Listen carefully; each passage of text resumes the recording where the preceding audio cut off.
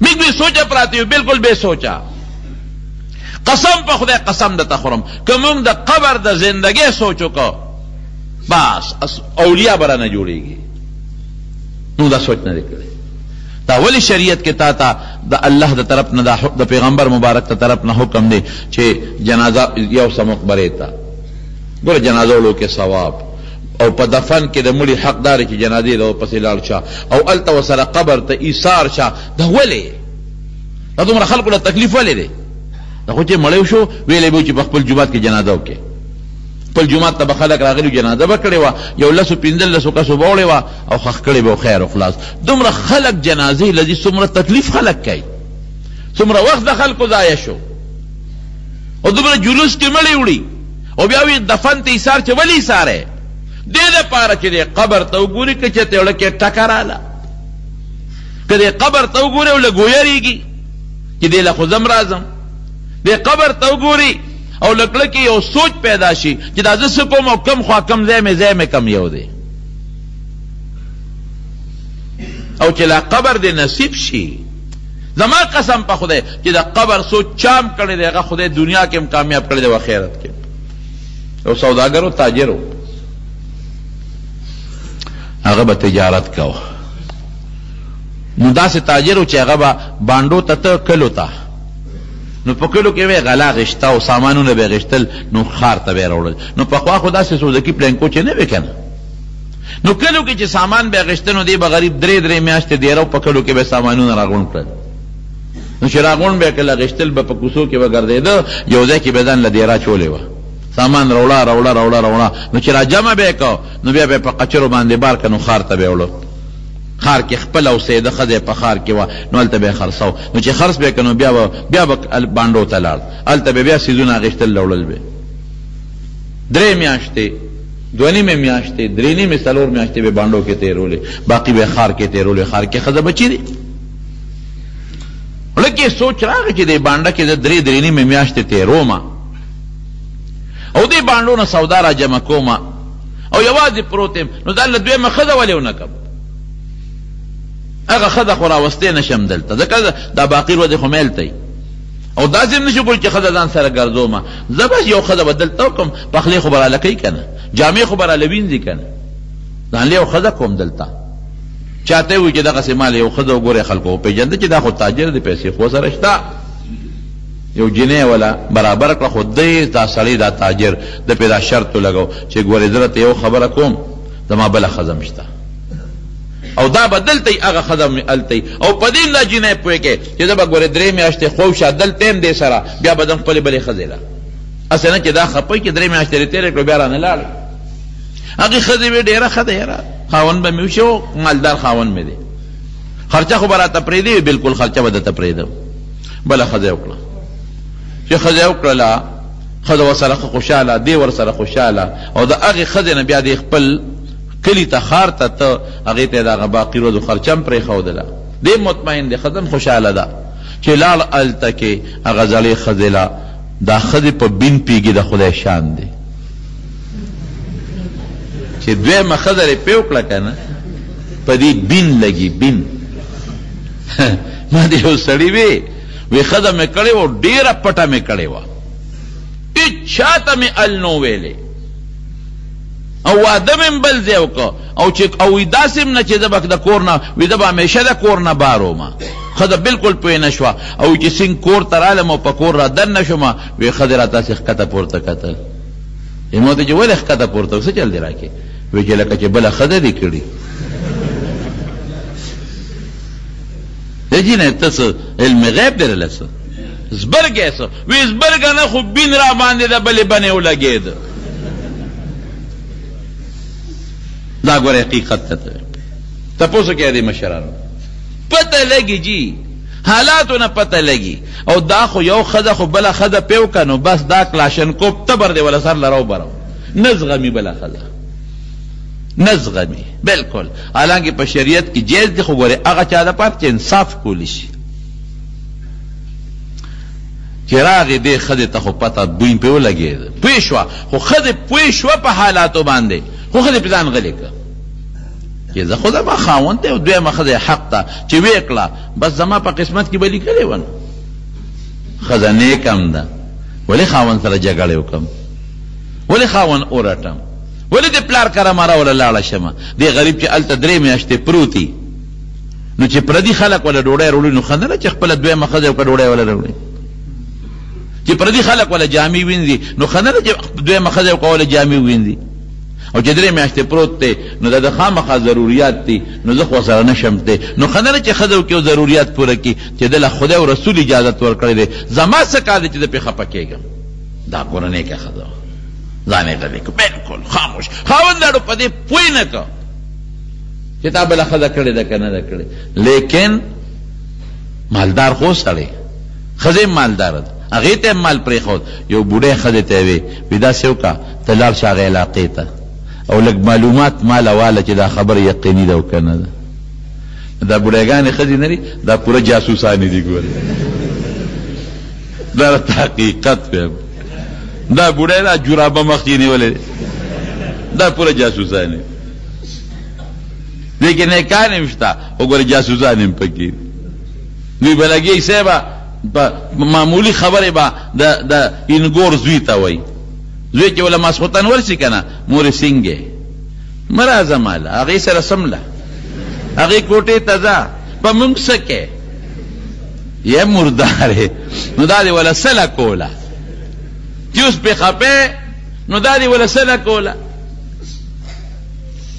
ته اوس د ښځې شوې ته اوس په مونږ څه کې او چې خدای نو پرېږدم نه نه ته چې وځې ما ته ګورېږي اخوار یې سم نه ویلې دې غریب ستړی سومان راغلی او زه ورته دا فریاد وکړي او رانجه خو هم پنځه شپېته منه اچوي په سترګو کې دا بوډاګانې رانجې هم په سترګو راوبېږي نو دی غریب کوتک د ګوتې کې نو ښځه ویب سړیه څه چل در باندې وشو نه دا زما مور ته راټې ولې او دا د مور ته مې ګورېږي ولې او دا مور ته مې دا ولې کوي ای ما څه ویلي دي دا ډب په ډبې واړی دا یو عادت دی پکې مصیبت دی ښه مزېداره به خوشحاله وي او په واده کې به چورلکونه وای ښه چورلکونه به وای څادر او لوپټه هم غورځولي او په لارو کې به تاویږي کور ته هم صبر نه کوي چې کور ته دننه شم نو تاویږم به نه نه په لارو کې تاویږي ډولکی ډب خو چې وری توبه وباسه یو سړی و هغه به ګړېده زامنو ورته یې بابا خدای ته وګوره بس یې که بوډا شوې بس یې که خلک راته خاندي را پورې شرمېږو بس یې که اوس سپینګیرې شوې وایي ښځه توبه جومات ته راغې تسبیح راواغېسته او ذکرونه یې شروع کړل پکې ورځې ووړې زامن هم خوشحاله و په لاره چې ته واده ډول ډنګېده ورشته یې وایي او ورته مخې ته چورلکونه شروع کړل وی دې ته به چا پلار ځان ټینګ کړي وي خبره مې دې پورې کوله چې هغه بوډۍ ته وی لاړه شه او معلومات راله واله بوډۍ لاړه چې معلومات یې واخېستل واپس راله وي خبره ټیک ده بین دې سمو بین دې سمو څنګه چل دی بله ښځه یې کړې ده ښه په یقین سره معلومه شوه او هلته یې کورم جوړ کړی دی او هغې سره اوسېږي بس دې په ځان په غږه غټه تیږه کېښوده. خاوند به څه موده دلته و، څه به هلته و. اتفاق ته ګوره چې یو ځل د بانډو نه راغی او سامان یې راوړ، خاوند ته هارټ اټېک وشو، مړ شو غریب. چې مړ شو بلا دولت ترې پاتې شو. چې پاتې شو نو ډېر لوی غټ غټ بوجۍ یې د مال او د دولت دې ښځې ته هغه خپل چې کومه حصه د میراث وه په هغې کې ورسېدله، باقي نورو وارثانو واخیسته. دا خو ډېر لوی مال و. ښځه چې شپې کوټې ته دننه شوه، بجلی خو وي نه، بلف خو وه نه، ډیوه خو وه نه او ډیوه یې مړه کړله. ښځې چغې کړې. نوکران رالل، وي څه چل شوی دی؟ وي قبر مې را یاد شو، قبر جون مې را یاد شو، تیاره مې را یاده شوه. بوډا ته وي، بوډا داسې کار وکړه، دا چې کوم ما ته مال پاتې شو دا زما نه دی، دې کې نیم د هغه بلې ښځې دی. اله شابه، دا مال فورا نیم کبوجو کې واچوه او سهار له په قچرو بار کړه، او د هغې بلې ښځې هغې خوارې ته خو پته نه لګي که نه مال خو ټول ماله راغی اخو نه ده خبر اخو د کلي نه هم نه دی نه ده خبر اخو د مال نه هم نه ده خبر شا به دا غوټ نیم فورا هغې له یو سره قبر کې به څه کوم دلته خو به عیش و عشرت وکړم رڼاګانې به جوړې کوم خو به قبر تیاره کې به څه کوم بوډۍ هغه بوجۍ د اشرپو ډکې کړې د مال او روانه شوه هغې ښځې چې لاړه او ور دننه شوه، هغې ښځې ته یې وې، ته د پلانکي تجارت تاجر ښه دی؟ وې او. وې هغه خاوند دې مړ شوی دی. هغه غریبه هم په ژړا شوه او وې دا مال مې دله راوړی، دا ستا مال دی. وې د څه مال؟ وې هغه بلې ښځې وې چې په میراث کې کوم حق ما ته ورسېد، دا د ښځې چې کوم حق دی دا که یوه هم به الي او که دوی نو حق به په دوو تقسیمېږي لکه اتم رسد دی. که ښځه یوه ده نو دا د دې شو، که دوه دي نو اتم به په دواړو تقسیمېږي، شپاړسمه د یو شپاړسمه د بل. نو هغه وایي چې دا خو زما بل ملګری شته دی او دا ټول مال خو زه ځان له قبر نه خرابوم، تیارې ته ځان نه تیاروم، نو دا وله یوسه. هغې ورته وي دا واپس هغه ملګری له مې یوسه، نه مې دی په کار. وي ولې یې واپس کړې دا خو بلا زرګونه اشرپۍ دي، وي دا زما نه کېږي دا د هغې کېږي.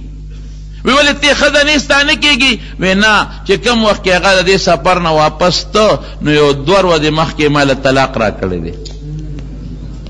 دا مال زما نه کېږي دا هغه کېږي وګوره که نه هغې په زړه کې د قبر یره راله او د خدای د ذات یره راله هغه پیسې ورته واپس په حلاله طریقه راله زمارونو موږ به دا پیسه ګټو دولت ګټو دا منډې ترړې حلال حرام دا بس قبر کې به موږ څه کوو د قبر جون کې به څه کوو هلته نه لاس خوځولی شي نه خپه خوځولی شي نه ایئر کنډیشن شته نه به بول شته چې څوک یې درته ووایي نه اوبه شته راته چې څوک دله ګیلاس کې اوبه درکړي بس یو د الله اسرا بې د الله د اسرې نه بل څه شته دی نه د قبر په جرم کې یو د خدای د ذات اسره ده نو د خدای د ذات اسره به کله شي چې الله دې خوشاله کړي او که الله دې خوشاله کړي نه نو ان ربک لبالمرصاد غټه ناکه لګېدلې مضبوطه ناکه هغه داسې ناکه ده چې دلته به دې ناکه بندو والا سره دوکه دا کو کې په تیر کې به تې وځي هلته په تیر کې نه شي وتی بلکل نه شي وتی اوس بعضې خلک دي هغوی د قبر عذاب هم نه مني لیکن په دې به انشاءالله که موقع راله آینده جمعه کې درته بیان وکړم وحاق بآل فرعون سوء العذاب الله وی په فرعونیانو خطرناک عذاب شروع شو چې کله غرق شو النار يعرضون عليها غدوا وعشيا اور باندې پیش کیږي په اور ورزي سارو ماخام اور وته بلیږي ويوم تقوم الساعه ادخلو آل فرعون اشد العذاب دا خو د قبر عذاب دی او قیامت پر ورځ د دې نه سخت عذاب. وروڼو دا زموږ ستاسو د ټولو ایمان دی چې مرګ به خامخا راځي او د مرګ نه هیڅوک نه خلاصیږي هیڅوک ترې نه خلاصیږي خامخا به مرګ راځي د زلزلو دوران کې ماته یو سړي ټیلیفون وکړ داسې هیبت اغشتي وي چې زلزلې دي دا اواز هم داسې د زلزلو زلزلو و وی جی زلزلې دي ما بالکل د خدای پاک د طرف نه غضبونه دي او قهرونه دي او د الله نه به سوال کوو چې خدای راته معافي وکړي ما یو جمعه په بیا بیان هم وکړ وی نو جی زلزلې دي که نه ورورې مې نو وي به زه بندولی شم چې ته اوس ما ته وې زه خو نه شم بندولی وی دا به څه چل کېږي مې مرو به که وی ښه مرو به نو مې ولې تا مری راوړي دي د ژوند خو مرو به که نه داسې غریب یارېده را پیدا نو واقعي د مرګ نه سړی یارېږي د مرګ یره خامخا د انسان په زړه کې راځي خو مرګ یقیني دی څوک ترې نه خلاصېږي شاعر وایي لو كانت الدنيا تدوم لواحد لكان رسول الله فيها مخلدا وې که دنیا کې همیشه سکونت او ژوند د بل چا وې نو رسول الله صلی الله علیه وسلم به په دنیا کې همیشه د پاره موجود و هغوی ته به د مرګ سکه نه راتله نو چې د دواړو جهانو مبارک سردار د دې دنیا نه د آخرت په سفر لا نو بل به څوک چې هغه به په دنیا کې همیشه جمدې پاتې شي مرګ خامخا هېڅ شک پکې نشته او کوم ټیم چې الله د انسان د پاره مقرر کړی دی چې هغه ټیم راشي نو نه یو سیکنډ مخکې والی شته او نه یو سیکنډ وروسته والی شته مرګ داسې حقیقت دی چې ځینې څوک انکار نشي کولی د خدای په ذات کې د خلکو شک شته څوک یې مني څوک یې نه مني پیغمبرانو کې بعضې خلک شک کوي څوک مني څوک نه مني قرآن کې ډېر خلک شک کوي څوک مني څوک نه مني د قبر عذاب څوک مني څوک نه مني لیکن مرګ نه هېڅ څوک انکار نه شي کولی هر سړی یې مني کافر یې مني او مسلمان یې مني امریکنۍ یې مني او پاکستانۍ یې مني روسیې یې مني او جاپانۍ یې مني هېڅوک د مرګ نه انکار نشي کولی صرف یو خبره ده زموږ ورباندې ایمان دی او د هغې خلکو ورباندې ایمان نشته نو که ته وایې چې مني یې نو ایمان په کې څه شی دی بیا چې ویې منه خو د ایمان شو نه نه نه د ایمان دی په یوم هغې وایي ته به مړ که ټوخي مړ که هارټ اټیک مړ که ګولی وواو په ګولی مړ شو اکسیډنټ مړ که مونږ وایو داسې نه ده مونږ وایو دا ګولی اکسیډنټ ته به هاټ اټیک دی بانه ده الله مړ که هغه وای که دې ګوله نه و چلیدلې دی به بچ شوی وي کافر وای که د دې ګاډي نه بچ شوی وي نو دی به نه وي مړ یاره که د هارټ اټیک نه وی راغلی علاج یې کړی وی اپریشن یې کړی وی دی به بچ شوی وی مونږ وایو دا کار به خامخا کېده او دا مرګ به لازمن راته دا ټیم مقرر دې نه دې نه شو بچ کېدی او الله پاک قرآن شریف کې فرمائی، لکل امة اجل، امت یو تم وی، دوه تم وی، ډېرو تم وی، د هر چا د پاره یو خاصه نېټه ده، اذا جاء اجلهم، چې کله د دې خلکو هغه نېټه راشي، لا یستأخرون ساعة، یو سیکنډ وروستوالي نشته، ولا یستقدمون، نه به یو سیکنډ وروسته شي او نه به یو سیکنډ مخکې شي، مرګ لازم دی، مرګ پسې څه دي؟ اوهو، لویې چقړې راروانې دي، لویې غنې راروانې دي، لوی خطرناک سفر راروان دی چې لومبی پوړی د مرګ نه پس د قبر ده. او حضور پاک فرمائی چه قبر، القبر اما روضة من ریاض الجنة، یا خو د جنت د باغچو باغچه ده، و اما حفرة من حفر النیران، او یا د دوزخ د کندونو یو کنده ده، الله دی مونږ له د جنت باغچه جوړه کړي. بعضی دوستان د قبر عذاب نه منی. هر قسمه بد عقیدو والا خلک رونو شته. د پیسو دا خلک لیونی کړی دی. پرون ما ته چا ټیلیفون وکړ وی جی دلته یو کس دی او قرآن شریف یې غورځولی دی دی به څه چل کوي نو ما وی په غلطۍ ته غورځېدلی دی او که نه په قصد باندې او سړی مسلمان دی که کافر و ما ته نه مسلمان دی او یې ښځې سره یې جګړه شوه نو ښځې وله قرآن شریف راواغېست چې د دې لحاظ وکړه خو بس ما مه وهه وي دا قران شريف د ښځې د لاس نه واغشت او زمکې له يې راوباره په قص باندې يې غورځولی دی اوس د دې سړي توبه به څنګه چل کيږي دی مسلمان دی که دی کافر دی او که کافر وي څه چل به کيږي ما وې توبې سره به وروسته ګورو خو ما وې تاسو ګڼ يې که رنګيه وي نه شکر دی ګڼ يو ځوانان د کې شته ما وې يو ميخه د کټ د بازوګانو په شان کوته کې وګورئ او ناول يې ښه ووهئ، وينې کوئ يې مه، خو ښه وډبوئ. وي جي موږ خو د مسئلې تپوس کوو، مې د مسئلې نه مخکې درته زه مسئله ښيم کنه. دا مست مست د په دماغو کې نشه پرته ده،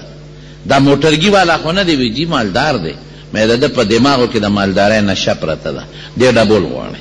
ښه ووهی ښه مضبوط مضبوط مې ګوره عدالت سزا نه ورکوي خدای به سزا ورکوي خو مونږ ته خو پته نه لګي که نه او ممکن ده خدای پرې رحم هم وکړي وروستو خو مې شروع پرې وکړی او ښې وډبه وی وي د هغې نه پس به سي د هغې نه پس دې ښه مضبوطه توبه وباسي ودې جاړي خدای ته صدقه دې هم ورکړي او ما وی کافر دی ایمان دې هم دوباره تازه کړي او ښځه هم تتلې ده که د ښځې خوښه وي ورسره نکاح کوي نو نکاح هم تازه کا او که ښځه ورسره نکاح کول نه غواړي نو دی پې زور هم نه شي کول څومره خلک مست شي وروڼو مست دی که نه دی مست په لږه خبره څوک خدای پورې ټوقې څوک پیغمبر پورې ټوقې څوک دین پورې ټوقې څوک علماو ته کنځل څوک مدرسو ته کنځل دا ولې دا د پیسې نشره د خلکو په دې ذهن کې پرته ده څوک د قبر عذاب نه مني دا د کراچۍ کې یو ډله تاسو وطن که نۀ قبل چې دلته څه نخښې شته او که نشته خو زه خو هر ځای بيان لرم نو بعضې خلک دې وي د قبر عذاب نشته يو ځای کې ماته چا وي دلته يو سړی دی د قبر عذاب نه مني او وي ماته دې څوک دليل پېش کړي چې ثابت دی نو زه به ومنم ما وي زه ورته دليل پېش کوم رای ونه وي خو نشته دوبۍ ته تللی دی مې ښه چې کله راشي نو دليل درته ښيمه يو قبر به وکنه وي په مقبره کې او دی به پکې دننه ښخ کړي او تبی به ورپسې ولګوې او ښه مزېدار قبر به یې جوړ کړې پې خو وجنه یې به نه جمدې یې پکې ښخ کړې او ورته وایه چې دلیل دا دی چې دې قبر کې دې ښخوو یو میاشت پس به دې رو باسو مونږ ته بال ووایه چې شته که نشته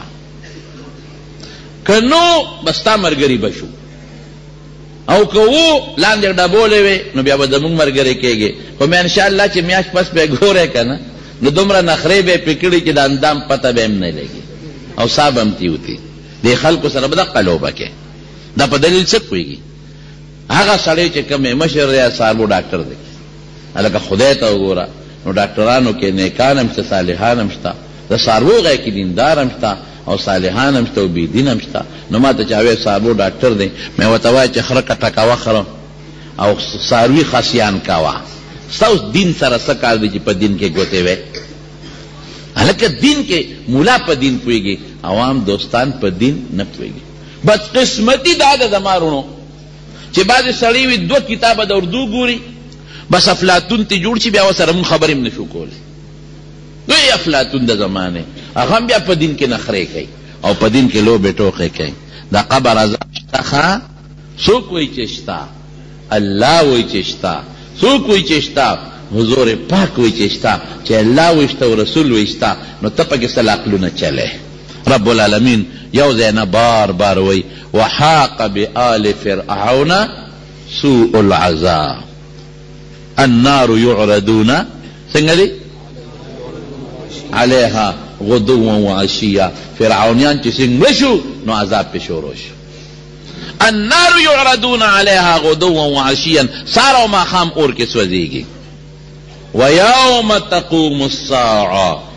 ادخلوا آل فرعون اشد العذاب قیامت په ورځ به خدای بل عذاب ته دننه کوي چې دوزخ دی نو ګوره ویوم القیامة نه د قیامت عذاب او دې نه د قبر عذاب وی دا مولیان وی مولیان نه وی مولیان جبه د مولا ده او خبره د رسول الله ده ټول وای صلی الله نبی علیہ السلام فرمای القبر دا قبر یا خو د جنت د باغچو باغچه ده یا د دوزخ د کندو نه یو کنده ده او حضور پاک فرمائی وی چه سړی قبر ته کیښودلی شی او دی بدعملی نو په ده اویا اژدهاګانی مقرر شی کم از کم اویا اژدهاګانی او هغه څونه خطرناکی وی لو ان تنینا منها که یو اژدها نفخ فی الارض په دی ځمکه کی پوکی وواو نو ځمکه کی به شین بوټی زرغون نشی دا زه نه وایم دا نبی علیه السلام فرمايي او یو فرشته پرې مقرر شي چې په غوږونو کڼه ده او په سترګو ړنده او هغه یې وایي په غوږونو باندې کڼه ده چې اواز نه اوري چې رحم یې پرې نه شي او په سترګو باندې ړنده فرشته ده چې غزار کوي هلکه وی دا دړون غرګی دی خدای دی د بشیر د غوزار نه ساته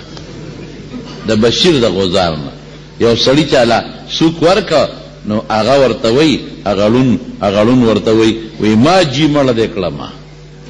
اړون خو نظر نه لګید اجی مړ دی کړم هغه ورته وی لکه تا ته سپتو لګید کی زا جی ما ته خو په سترګو ړوند یې، وي دا سوک دی دا جانو؟ هلکه ګوره ځمه جیمه، جان خپه کېږی مه، ځمه جیمه، نو دا سوک د بشیر جان؟ نو خدای یې د بشیر جان د غوزار نه ساته، دا دی مخامخ ناست دی، خدای ګو مونږ تیریږو چې دی کله غوسه شي داسې ډېره پي، مونږ ته خوا لاړ شو. نو چې کومه فرشته په سړي مقرر ده په قیامت کې، په غوږونو کڼه، په سترګو ولې چې رحم یې رانشي. اواز نه وری وینی نه یره حمیرا نشی یضرب بمطارق من حدید د اوسپنو په سټکو یی وایی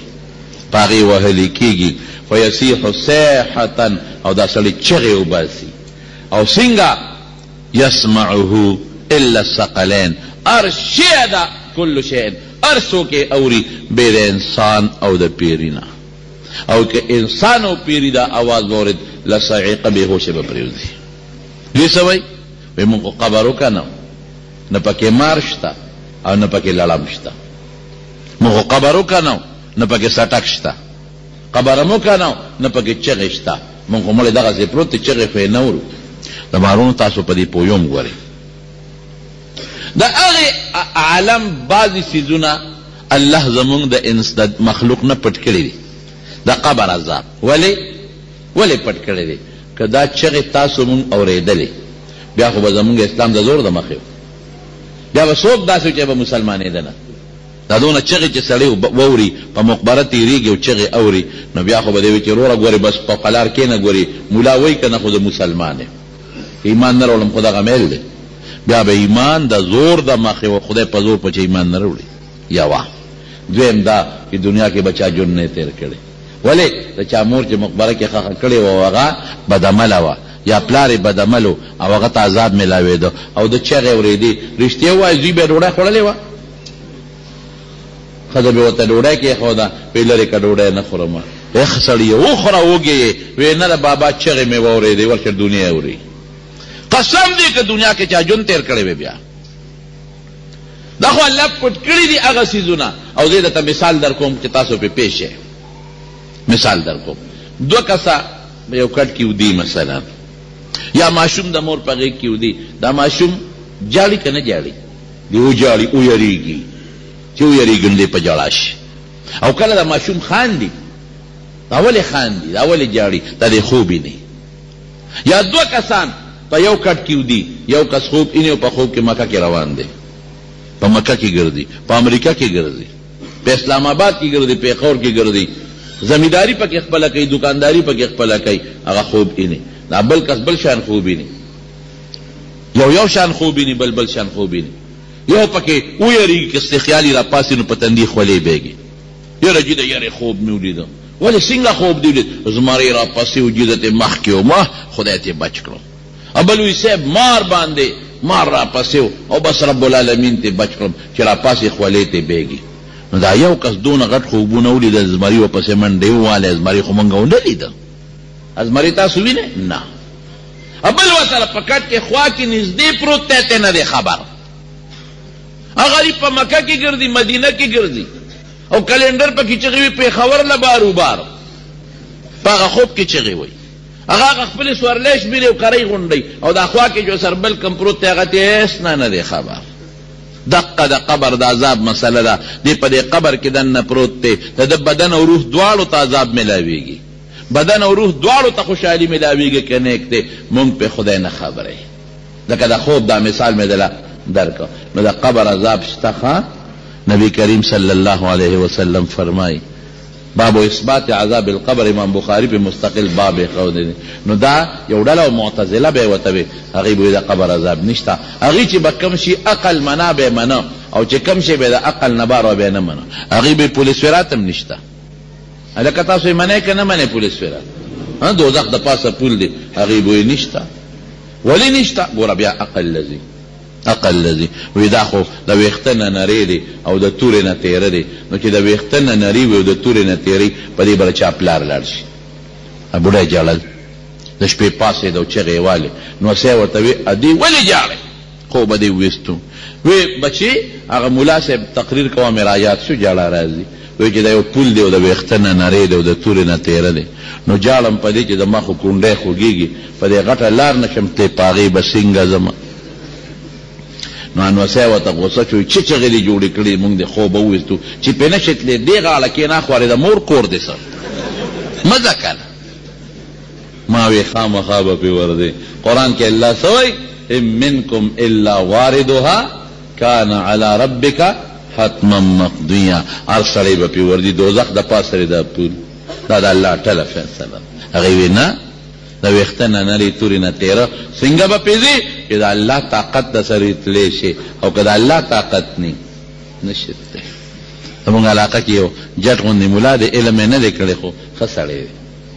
نو هغه یو ځل د پولیسویرات تقریر کړ هم دقه چې د ویخته نه نری او تول نه تیر او دا د حدیث مفهوم دی ګوره یو مقتدی ولا چا وکړه چا سره ولا چرګ دا پندور چرګ نه سپینه دا څه شی دی لکه پارامې چرګ دا زما د بلا نه بدی شي دی بانګ نه وای نور نقصانات هم پاکستان اور پرېدا خو بانګ نه وای نو دا ول سور کړو په غوړو کې چې سورې کې ورته کېښو چای پې وڅکله وي ستا جي وي تا د جمعې تقریر کړو چې پولیس سفرات نري پول دی او تورې نه تیرو دا داسې ګپ لګاو که مونږ دې یرولو او که نه رښتیا دي نه نه وي دا خو حقیقت دی نبی علیه السلام فرمایي استاد جي ته پې پوري وځې تا ته هم کونټه په لاس کې راو چشمې دې هم لګولې وي او بلکل به پې ځم استاد جی چی په دومره نری پول ځې نو څه دم دورها به رسره یی بیره دم نه خو یقین نه دی که سړی پی پوری وزی نو خدای ته وګوره دم راته وښایه ولی اخو ډیره د الی ګلی روز ده نو هلته به دی کوم ځای مونم دلته راته هغه دم وښایه څنګه ښکلی چرګ می دباندی وخوړ او ښه مزیدار دود پتی می هم درباندی وڅکل دم راته وښایه. هغه استاد یی ورته وی چی دا نن دی کوم کار وکړه کنه دا کله کله کوه نو موټروی به کوم درته ما وی لکه موټروی پکی څه ته وای رسول الله مبارک فرمایی چی کوم انسان الله پوری باسی کل برق برېښنا پشان به پوری وزي څه پشان به پوری وزي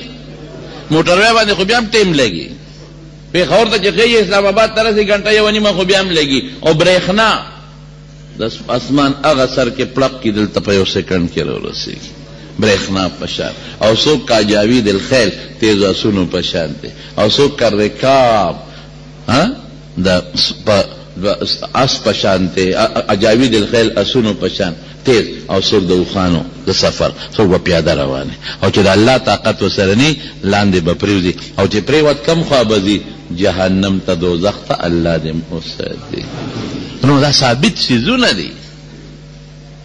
قبر عذاب شته خو بد عمله له نیک عمله له نشته. الله دې موږ نیک عمله کړي. قبر نه پاڅېدل دا شته دا ثابت دي خو نيک عمله به ښکلي شکل سره پاسي او بد عمله سړي الله دي مو ساتي سپيمو کي به زنځير وته واچوي او پړ مخي به راکاږي چغي به وي چغي او سپيمو کي زنځير به واچي پړ مخي به راکاږي څوک به په الاوړې رواني او خپې به یې بر یې او سر به یې لاندې. حضور پاک نه تپوس وشو، د الله رسوله! په سر او په مخ به خلک څنګه ځي؟ وې هغه ذات چې خپو کې د ګرځېدو طاقت اچولی دی، هغه په مخ او سر کې هم د ګرځېدو طاقت اچولی شي. اچولی شي که نه شي اچولی؟ او په چا څوک به په خپل عمل سوري او په چا به عمل سوري؟ بې به ترې لاندې وي. زما وروڼو دا د مرګ نه پس حالات دي. رښتیا وایه چقړی دی که ندی وی چقړی دی څه پته لګی په خدای می دی قسم یریږو جی او یریږو کنه حضرت ابوبکر صدیق رضی الله تعالی عنه غوندی شخصیت حضرت عمر فاروق غوندی شخصیت حضرت عثمان رضی الله عنه غوندی شخصیت په خدای قسم جړل به دا قبر چې مونږ په هر وخت تیریږو را تیریږو حضرت عثمان رضی الله عنه چې به قبر ته راغی نو په ژړا به شو دونه به وژړل چې سترګو نه به اوښکې وبهېدې چې ږیره به لمده شو الله اکبر اوس کم سړی دی حضرت عثمان د حضور پاک هغه صحابي چې یو ځل په احد د غر د پاسه نبی علیه السلام ولاړو حضرت ابوبکر صدیق وو، حضرت عمر فاروق وو او حضرت عثمان وو رضی الله عنهم. زلزله راله دا غر وجړقید. حضور پاک خپه مبارکه واغیشته او دی غر له داسی راوبلول. وی اسکن احد، احد غلی شه، انما علیک نبی، یو در باندی پیغمبر ولاړ دی، و صدیق، یو در باندی ابوبکر صدیق ولاړ دی. و شهیدان دوه در باندې جمدي شهیدان ولاړ دي حضرت عمر او حضرت عثمان دي پیشن گوئی شو سمره لوی سړی یو صحابي وای وی حضور پاک یو باغ کې ناستو وی ما وی چې نن به د نبی علیه السلام د خادم او د دربان ډیوټي کوم وی د باغ په دروازه ودرېدم وی دروازه وټکېده چې وټکېدله نو ما نبی علیه السلام ما وی څوک وی ابوبکریم می علی رسلک په آرام ودریږه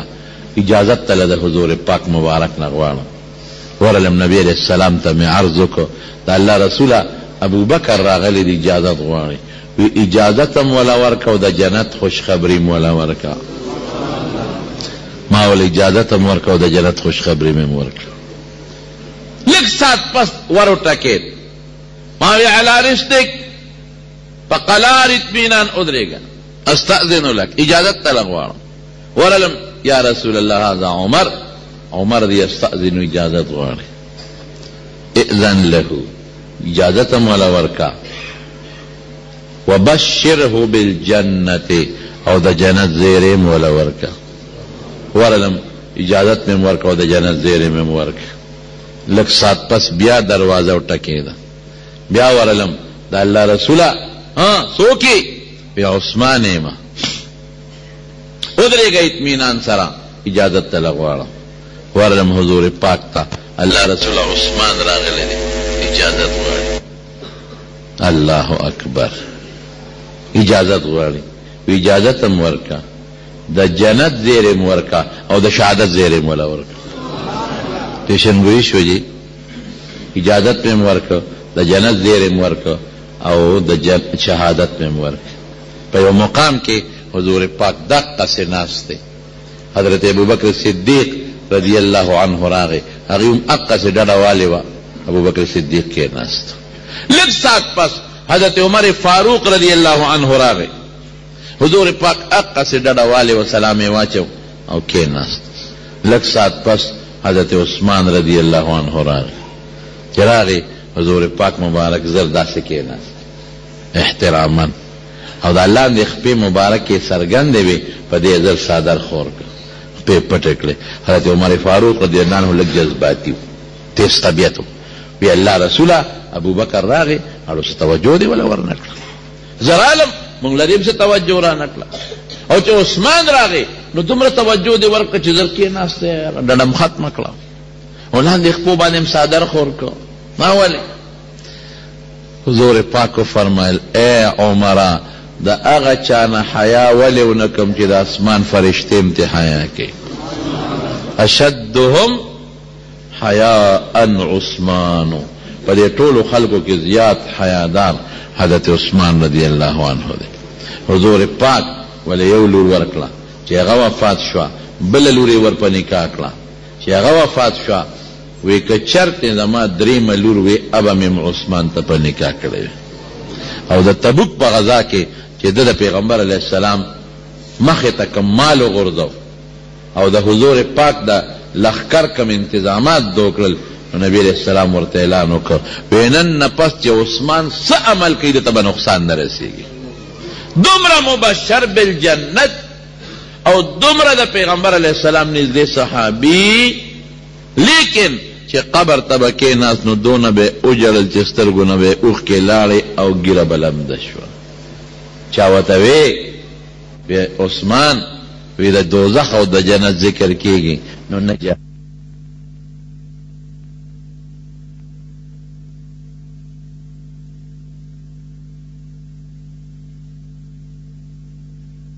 چې دا قبر د آخرت په پوړو کې لومبه پوړی ده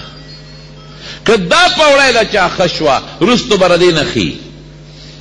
او که دا د چا خرابه شوه وروسته له دې نه خطرناک سفر دی او ما د ښکلي پیغمبر مبارک نه اورېدلي دي چې قبر د وحدت او د یوازیوالي کوټه ده او د چینجو کوټه ده او د تیارې کوټه ده څو چیزونه شو ځان له کوټه ده ملګري نشته د چینجو د چینجو نه ډکه او دریم نمبر ها چینجو کې ماران لړمانان هم راغلل دا تیارې کوټه ده نو چې څوک ځي نو ځان سره دې ملګري بوځي ګنې یوازې به پروت دی او چې څوک ځي نو ځان سره د چینجو لړمانانو او د خامارانو دارو یو سی د عمل په شکل کې او د ایمان رڼا دې یو سی چې تیاره پې ختمه شي رونو رشتیا ووایه چی خطرناک سفر مخی ته راروان دی که نه دی راروان دی له موږ څخه تیاری وکړه هیڅ هم نه ټوله زندګی موږ د دنیا تیره کړه بس هر سړی په دې سوچ کې دی چې پیسه وګټم پیسه وګټم پیسه وګټم ډوډۍ وګټم دولت وګټم موټر وګټم قسم په خدای حضور پاک فرمایي وی اے زما امتیانو وي زه په تاسو په دې نه یریږم چې دا دین به مو بدل شي په دې نه یریږم په دې یریږم ان تبسط علیکم الدنیا چې دنیا به در باندې را خوره شي فتنافسو فیها نو یو بل سره به په دنیا کې سیالي وکړي یو به چې موټر د ده شته د ما نشته چې پیدا کړم که په ارامو دی که په حلالو دی د هغه موټر لږ ښه ماډل دی چې زما د هغه نه هم ښه ماډل شي د هغه پنځمه دی بنګله ده د ما لس شي د هغه لس ده چې د ما کنال شي د هغه کنال ده چې د ما دوه شي د هغه دوه کناله ده چې د ما جرب بنګله شي د هغه سل جربه ځمکه ده چې د ما دوه سل جربه شي د هغه کارخانه ده چې د ما دوه شي هر سړی په دې سوچ کې پروت دی داسې ده که نه ده دا سوچ چا هم ونه کړ چې د ځنکدن سره به څه کوم او د قبر سره به څه کوم او د آخرت د سخت زندګۍ سره به څه کوم دا سوچ په صحابه کرامو کې حضرت عمر فاروق رضی الله عنه څومره لوی شخصیت دی مخکې به درته ووایي چې د جنت زیري ورته ورکړل شوي یو ځل حضور پاک په جومات کې را روان دی خی طرف ته وتره حضرت ابوبکر صدیق رضی الله عنه دی ګس طرف ته حضرت عمر فاروق رضی الله عنه دی په دې یو لاس ابوبکر ونیو او په دې بل لاس عمر ونیو د ترمذي حديث دی او څه وايي صحابه ته يې مخ کړئ وې هکذا نبعث يوم القيامة وې قيامت پر ورځ به د قبرونو نه مونږ دقسې پاسو همغسې وشوه پېشنګويي ده حضرت ابوبکر صديق او حضرت عمر فاروق رضي الله عنهما ورسره يو ځای دفن څومره لوی شخصيت يره يې څونه ده حذيفه ابن اليمان رضی الله عنه دا د پیغمبر علیه السلام رازدار و، ډېرې پټې خبرې د حضور پاک د سره پرتې دي، پټ رازونه و سره. عمر فاروق رضی الله عنه ته حذیفه دلته راشه کېنه. کېناست. وې حذیفه تا سره خو د نبي علیه السلام ډېرې پټې خبرې پرتې دي؟ وې آو امیر المؤمنین شته بالکل داسې پټې خبرې چې چا تام نه دي معلومې. وې حذیفه منافقین د تخول دي وی او بالکل که زه درته نن اخلم نمونه نو هغه شته چې چې پلانکې د پلانکې زوی منافق پلانکې د پلانکې زوی منافق پلانکې څومره چې منافقین دي هغه راته ټول خوري دي فهرست یې زما په داړه کې پروت دی خو ګوره امیر المؤمنین که ما نه تپوس کوې جواب دله نشم درکولی ځکه دا د پیغمبر مبارک راز دی ما سره ما ته چاته به نه ښې خولې درته نه شي وی نه حذیفه دا تپوس ته نه نه کو می خایه راته خو درته معلوم خو دي که نه چې حضور پاک کوم منافقین ښودلي دي او معلوم دي خولی نه شم وی مه خایه خو د خدای دپاره عمر په ژړا شو ورته د خدای لپاره دا ستاړکي چې کوم پراته دي او نبي علیه السلام درته ښولي دي، ته پرې لږ نظر ور واچوه چې د عمر نوم پکې شته که پکې نشته. دې ته یېروي. عمر غوندې شخصیت؟ یارېدل به دا خلک. او لمن خاف مقام ربه جنتان.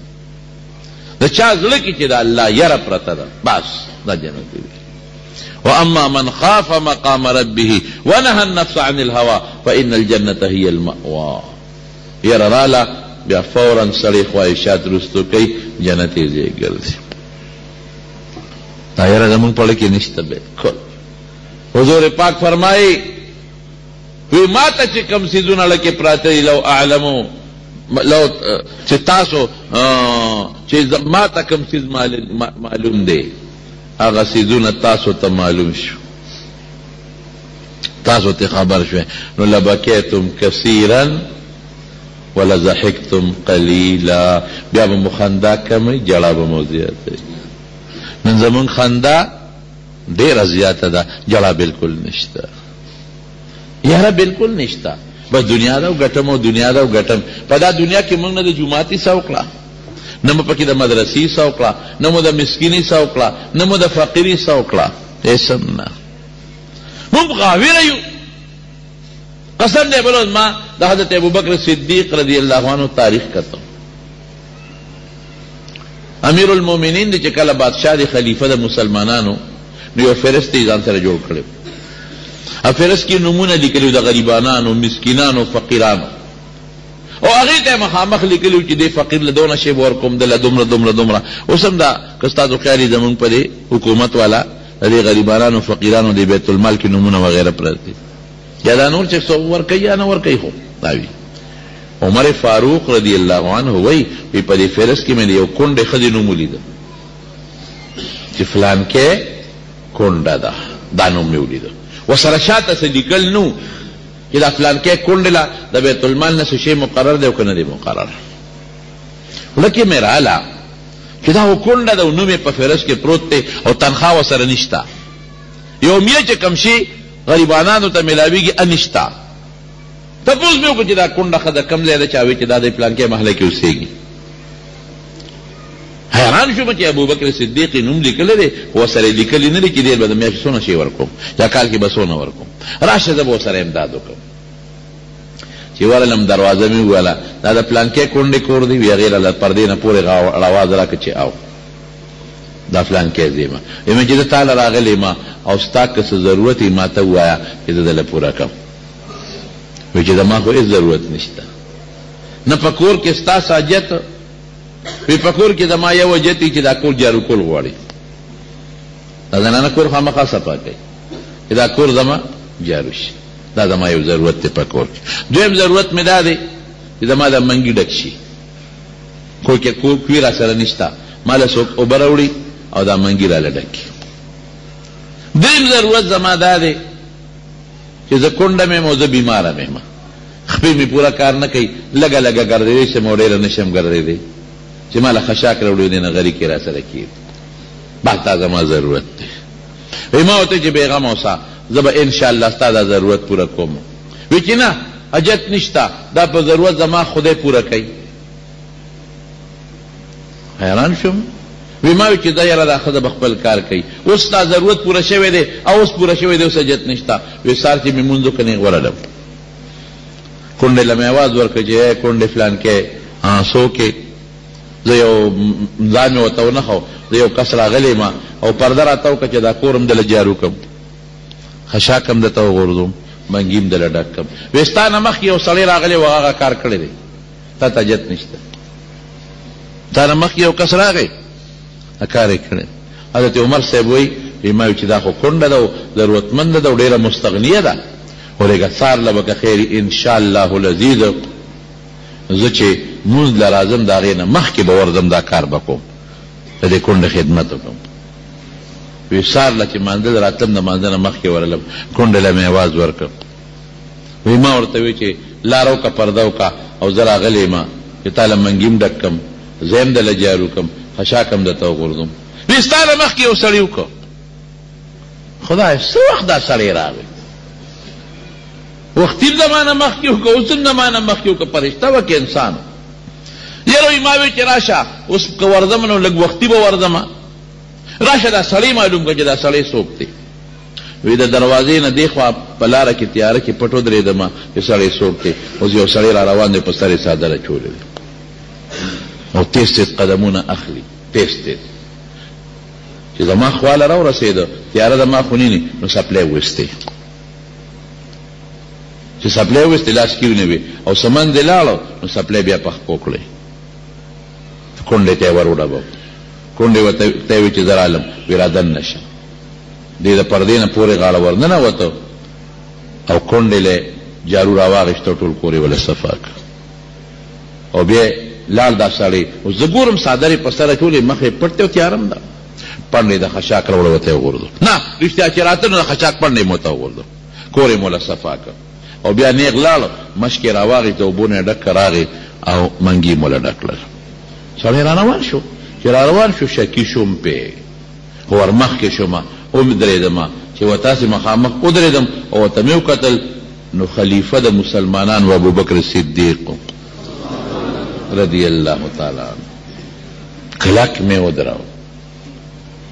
د دې کونډې دا خدمت ته کې، چې عمره تاسو ته چا خبر کړې؟ ما ولیدې، ما ستا په بیت المال په فهرست کې د کونډې نوم ولید، خو څه دې ورسره لیکلي نه وو، نو ما وې چې ودرېږه زه به یې مدد وکړم. هغې راته دا مدد ووې خو وې چې یو سړی راځي زه یې نه پېژنم هله دا خدمت کوي. عمره ګورې خدای ته وګوره راز مې اوچت نه کې. زما په ژوند کې دا راز چاته ښکاره نه کې. که رب ذوالجلال ابو وی په ژړا شو راته چې ابوبکر ډېر ګناهګار دی. که د دې کونډې په وجه مې پروردګار وبخښي. دې کونډې د خدمت د برکته مې رب ذوالجلال وبخښي. وي ما ورته وې چې دا خو ته یو غلام ته هم ویلی شې، ته خو امیرالمؤمنین یې، خلیفه، بل چا ته هم ویلی شې، ابه دا خدمت وکړې. وي جنت ته به زما په ځای هغه بل ځي؟ دوزخ نه به مې هغه سړی خلاصوي؟ وی ما ورته چې دا سپلای دلته څنګه وېسته دلته سپلای وېسته دلته دی واچول الله اکبر وی دا دلته بل یو کونډه اوسېږي فرس ورا سره پروت دی غریب نه جوړی هغه له خوب نه ورځي نو چې سپلو کې زما دا سپلای مې ټقار کوي په د خوب وځي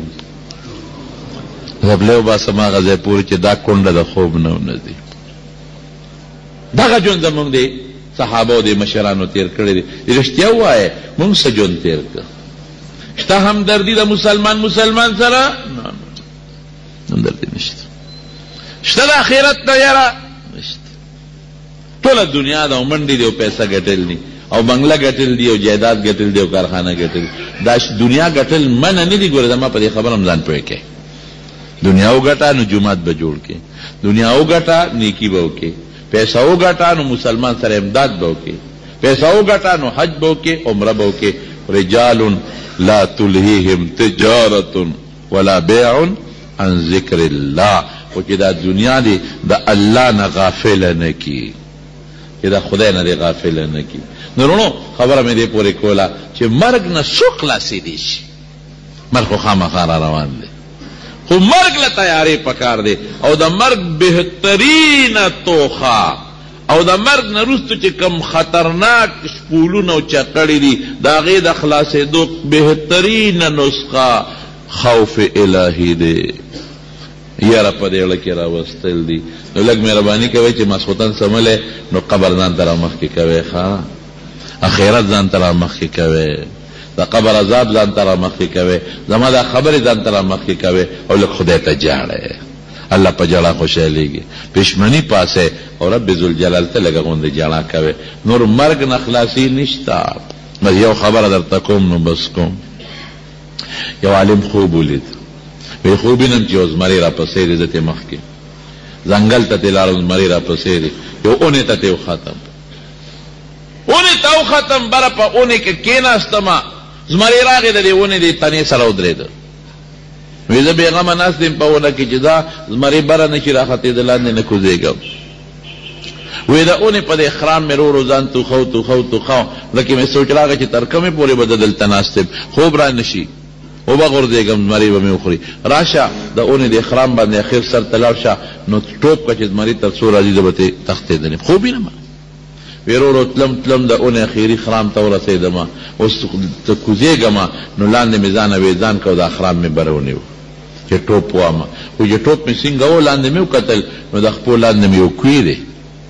او کوی کې یو اجدها خامار د خولې وازه کړی او وی دا زمری راغی د کوی په غاړه راته ودرید یا خدای دا څه په غم وړیدم برابر ناستم ناسې مې ځان را ویزان کو او چې د اونې نه ځانه ویزان کې بیا ختم نشي او یو بلا وه او دلته دوه بلاګانې دي هم زمری دې په غاړه ولاړ دی هم لاندې اجدها ښامار دی وایي په دې سوچ کې هم خولې رانه بهږي چې د اونې دې اخرام ته مې وکتل نو پر یوې ښې تورې سپینې مږې نښتې دي او کرار کوي ریب یې د نیمې نه زیات خرام یې پرې کړی دی لږ غوندې پاتې دی ما خو یې ستړی به شي لاندې به پرېوځي دا خو که ستړی کېږم که نه دا خرام به اوس مات شي ټق به وکړي دېخوا زمری دېخوا ښامار وی په دې کې راویښ شو دی خپل استاد له لاړ وی صاحب یو خطرناک خوب مې ولید هغه ورته وی وی خطرناک دی هم او نه دی هم دا خو خدای پاک تا ته ستا د ژوند ټوله نقشه وښوله دا کم خرام چې ته ورپورې وې ځان دی دا ستا ژوند دی ژوند دا زندگی ده د ژوند خرام پورې هر سړی نښتی دی او دا کمې تورې سپینې مږې چې دي او دا خرام دله پرې کوي لږ پاتې دی دا تورې مږې شپې دي دا سپینې مږې روځې دي دا روځې او شپې لګیا دي او د جون خرام یې دله پرې کړی دی لږ غوندې پاتې دی ټوټې غوندې دا به هم کټ شي او دا چې کم کوي د خپو لاندې دی دا قبر دی او چې دا کم خامار دی دا مرګ دی دا د جون خرام چې سنګ ختم شي دا دې قبر له به دې او د مرګ دا ښامار به ټک درکوي او چې دا کوم زمری درپسې دی او د کوی په غاړه ولاړ دی دا ملک الموت دی رښتیا ووایه داسې ده که نه ده څوک د قبر نه خلاصېدی شي قسم دې زه خو ډېر یریږم زه خو ډېر یریږم چې خدایه ته به موږ سره څه کې تا خو موږ له ښکلی ژوند راکړ ژوند چا راکړی دی؟ شوق سره ووایئ. نور شوق سره. دا خشته شکل چا راکړی دی؟ انسانیت چا راکړی دی؟ بچی چا راکړي دي؟ دا ښکلی مبارک پیغمبر چا راکړی دی؟ او دا خشته قرآن چا راکړی دی؟ عزت چا راکړی دی؟ ذلت د چا په لاس کې دی؟ دی الله موږ سره دونه ښېګړې کړې دي موږ وله څو کړل؟ قسم دی که د خدای د یو ورکوټي نعمت، د خدای نعمتونه ډېر غټ غټ دي او ډېر زیات دي، پټېنی غوندې نعمت شکریه مونږ ادا کړی شو.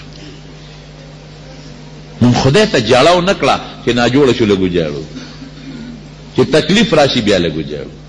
مرګ راشي نو لږ وژاړو، بیماري راشي لږ وژاړو او چې رانیولي نه یو کنه تکلیف بیماري نه راغلې قسم دی که خدای ته هم ژړلې. لږ خدای ته وجاړی زما ورونو دا ذات د خپه کولو نه دی او مونږ هر وخت الله خپه کړو او ورونو بس یو خبره وکړم نو بس کوم خدای ډېر زیات خپه کېږي په څه په ګناه او نن د ګناه لوی سبب موبایل دی ګورئ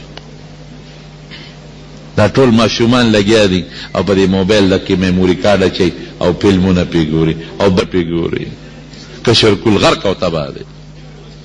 خدای ته وګوره دې بچو له موبایلونه مه ورکوئ مهرباني وکړئ جینکو له مو ورکوي جینکو ته موبایلونه دي هلکانو سره موبایلونه دي فلمونه پې ګوري سندرې او که خامخا دې ورکړي نو ورته د علماو تقریرونه واچوي نعتونه ورته واچوي ترجمې ورته واچوي د حدیث درس ورته واچوي د علماو بیانات ورته واچوي فالتو څیزونه مه اچوي ټول قوم په دې نن هلته لاړ شي شل روپۍ ورکړي میموري کارټ ولې د ګندونو نه ډک کړي هلته لاړ چې دېرش روپۍ ورکړي، میموري کارټ ولې د فلمونو نه ډک کړي او نن سبا خو انټرنېټ دی، په هغې لګیا دی ځان ته ډونلوډ یې کوي، په هغې لګیا دی او د انډیا او د فرانس او د یو ځای او د بل ځای بربنډ فلمونه پرې ګوري. داسې ده که نه ده؟ کشر کلي تباه او برباد کړ، لوپران یې کړل واړه، دې وړو نه چې لوېږي څه به جوړېږي او یوازې روحاني طور نه د ګناه وجودونه یې مو له تباه او برباد کړل ګورې.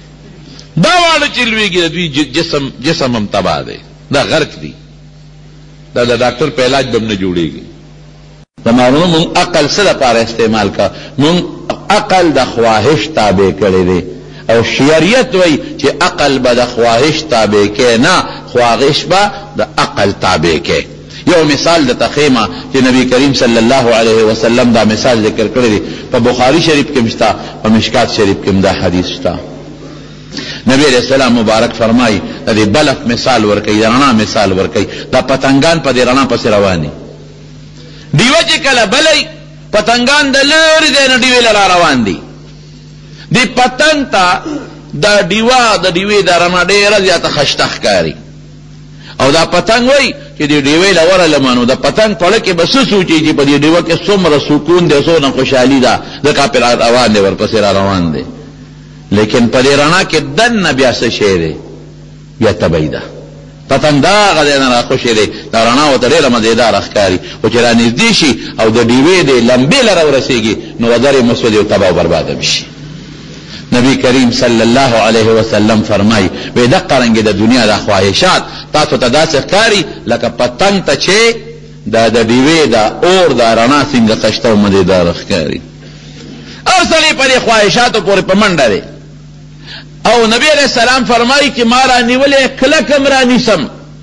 او ده ته نصیحتونه کوم چې ای رورې مه ورځه ګورې تا ته خو رڼا ښکاري تا ته خو ښکلی شی ښکاري تا ته خو مزیدار او مزین شی ښکاري خو ګورې دننه تبۍ ده ګورې پتنګ ته ښکلی شی ښکاري او مزیدار شی ښکاري خو چې ورشي نو ودرې وسوځي او تباه او برباد شي لاړ شي مړ شي ګورې دې زنا له مه ورځه دې پردي مال له مه ورځه دې ګناه له مه ورځه ګورې مه ورځه تا ته خو قشته او مزیدار ښکاري خو ګورې دې پسې دننه څه شی دی بیا د دوزخ غرغنډې دي ورپسې، د قبر ډبول دي ورپسې او د قیامت د میدان سختۍ ورپسې راروانې دي. رسول الله مبارک فرمايي، وایي ما تاسو کلک رانیولي یئ، منې کوم هم چې تاسو ورنه شئ، خو وایي تاسو په ما غلبه کړې ده او تاسو ما پرېږدئ او دقه د د خواهشاتو رڼا پسې ور روان یئ او انتم تقحمون فیها او په هغې کې ځان ور دننه کوئ او دا سبب د اخرت د مضبوطو عذابونو ده. خو عقل به مونږ چلو خو په کومه طریقه به چلو د خواهش تابع کوو به نه عقل به مونږ د خواهش نه تابع کوو خواهش به مونږ د عقل تابع کوو نو رب العالمین په دې آیت کې زمونږ نه ګیله کوي څه وایي الله پاک الله وی ارایت من اتخذ الهه هواه دا نبی علیه السلام ته وایي وی دا خلکو ته ته نه ګورې دې خلکو ته نظر نه کې وی دوی خپل خواهش خدای کړی دی خواهشاتو پسې روان دي زه یې پرېښې ما ما تاسې په خولې خدای خدای وایي او ما له شریکان ګوري او زما حکمونه نه مني افرأیت من اتخذ الهه هوا د خپل خواهش نه خدای جوړ کړی دی خدای پسې خلک روان دي دی دې خواهش پسې په منډه روان دي په مزل روان دي افانت تکون علیهم وکیلا فکر مکوا د وکیل نه خلک تپوس کوي چې ما خو تعالی پیسې درکړې زما کیس څنګه کا تاله خو ماله پیسی درکړه چی ماله ګډ واله ماله دی ګډ واغیشت او کنه تانه د دوی تپوس نکوم ته ورته خپل دعوت او تبلیغ چلوه ته می په دوی وکیل نه مقرر کړی تانه له دوی دا تپوس نکوم زه پیشه او دوی پیشه او بیا رب العالمین ورپسی څه وای ام تحسب ان اکثرهم یسمعون او یعقلون ای پیغمبره ته وی ګنی زما دا خبره دوی اوری دی خو په دی غوږ اوری خو د زړه په غوږ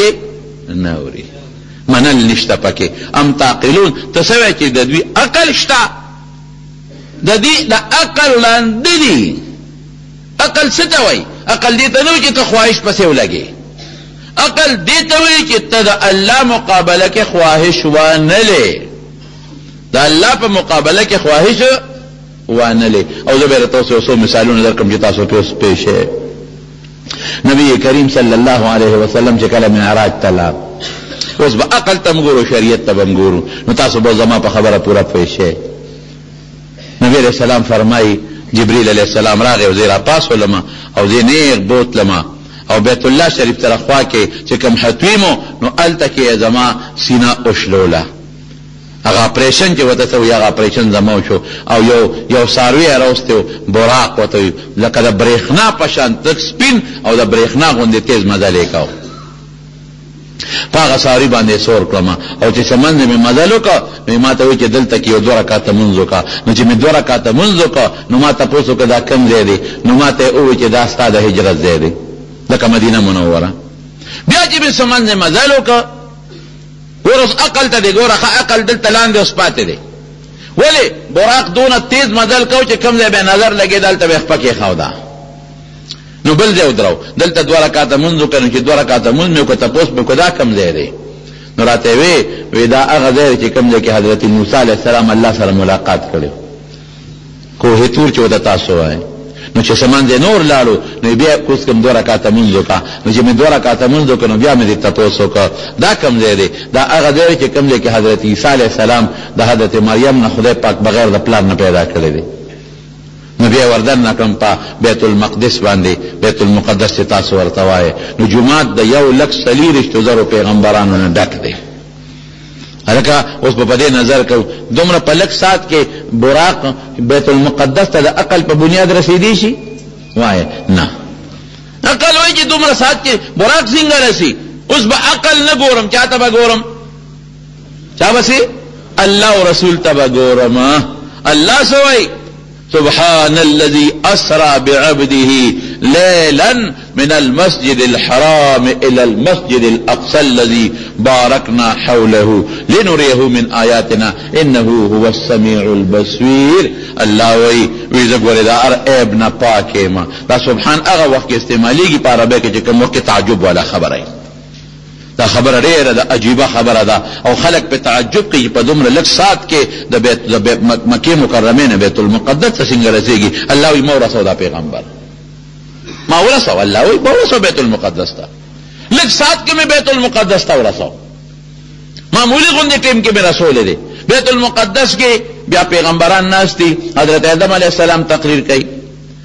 حضرت موسی علیه السلام تقریر کوي، حضرت ابراهیم علیه السلام پکې تقریر وکړ، حضرت نوح علیه السلام پکې تقریر وکړ، حضرت عیسی علیه السلام پکې تقریر وکړ او حضرت جبریل علیه السلام د سټیج نظامت کوي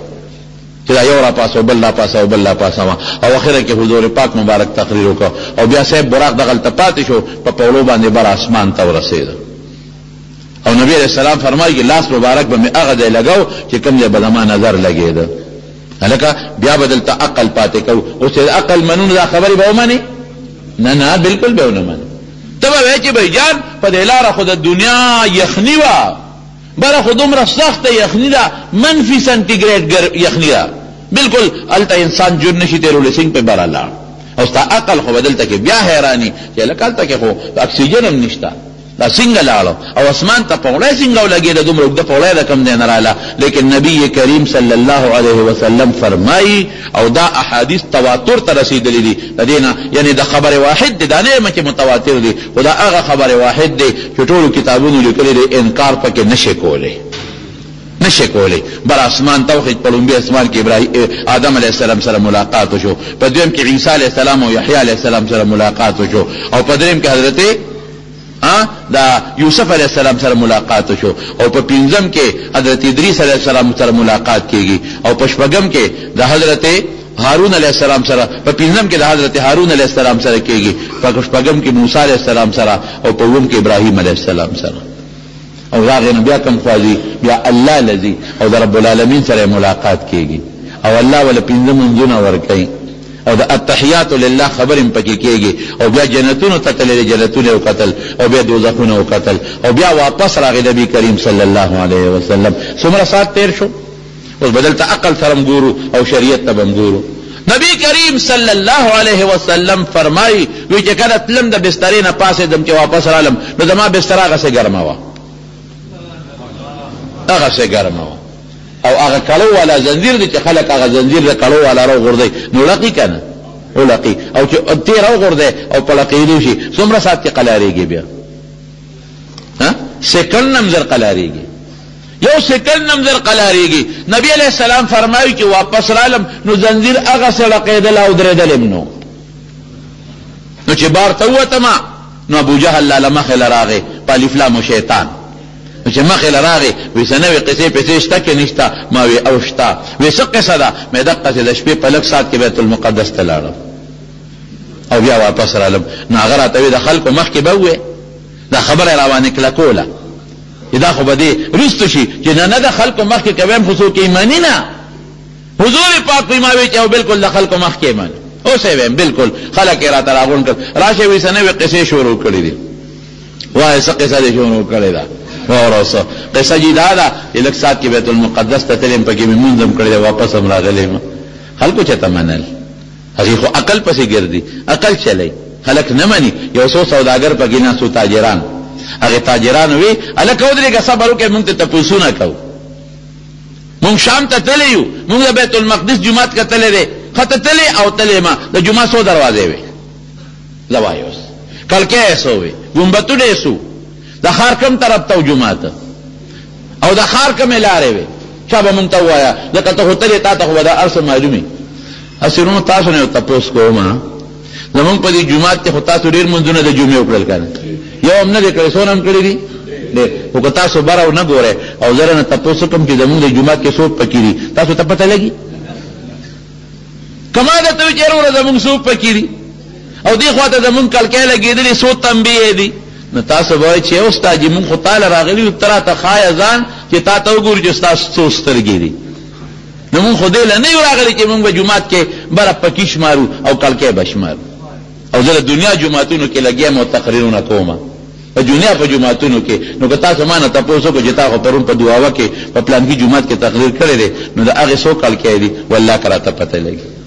دا بشیر جان ټول عمر دلته کې مونږ سره ناسته پاسته کوي او ښه مضبوط یار مې دی داسې ده که نه ده او که تاسو ما نه تپوس وکړو چې د ده دا وجود څو لیشتې اوږد دی او څومره پلن دی وروره بشیر جان در خو مې اشنۍ ده خو مې د خېټې نه پیته نه راته وکړې او نه مې بشیر جان د سر نه تر د کونډو پورې د خپو پورې پیته ده چې زه پرې ناپ کړم چې څومره غټ دی او څومره نری دی لکه زما د خبرې مقصد دا دی چې کوم شي درې سوچي هغه به ته معلومي او چې کوم شي درې سوچ نه اچھا ته نه معلوم نو حضور پاک وی چې هغه د سپیره بچی را نه تپوسو کا چې دروازې سو دي ګمبتونه سو دي یا خدای او زه خو دی له نو ته چې ګمبتونه شمارم او د خار کم طرف ته د خار سو دروازې دي او سو لارې دي او سو کوسی دي او د شپې تلو دا خو اوس دې زمانه کې بجلی هغه زمانه کې هو بجلی نه وي حیران شو زه به در یو مثال درکم یو خدي یو کوټه جوړه کړې و کوټه یو سړی ته هغه کوټه ونیو چې کوټه ته هغه سړی قبضه کړه خدای لاړه جج له داوی وکړه هغه سړی وکیل ونیو چې وکیل ونیو نو هغه وکیل به پټکی و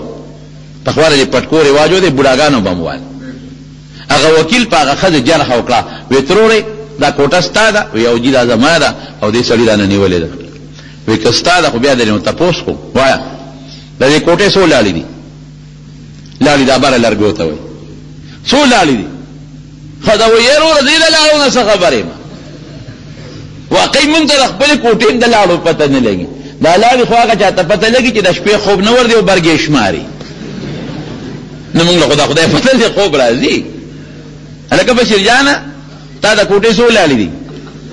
ځکه دا ال دې راته وي نن پنځه روپۍ انعام درکوم او درې به ورسره حاجي صاحب هم ورکړي د لاړو چا ته څه پته لګي نو ښځې ته وایي ستا د کوټې څو لاړې دي لکه ستا کوټی تاته به لاړی معلومی ښځی ورته وی وکیل صاحب یو ځل می جوړه کړه هغه هم په لیبر په مزدور او په ګلکار باندی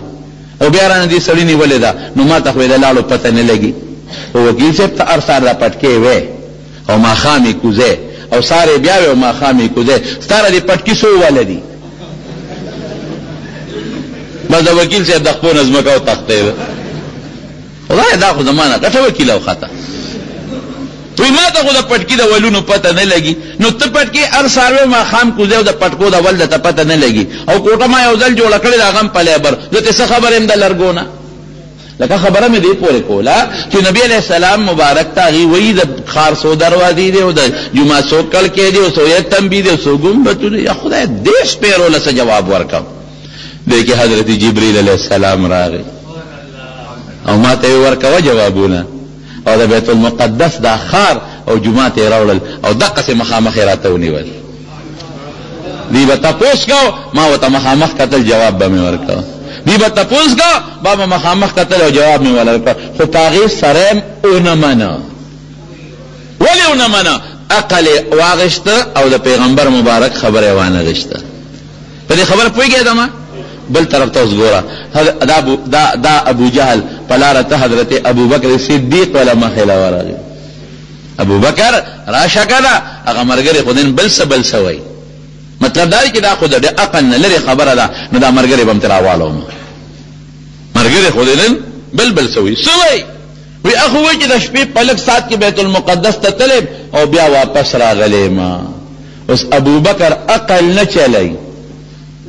عقل نه چلی اسوي مړه ابو جهل دا خو ډیره وړه خبره چې بیت المقدس یادی که دی وایي چې په دې لږ ساعت کې بیت المقدس نه پس اسمانونو ته تلم نو بیا یې منم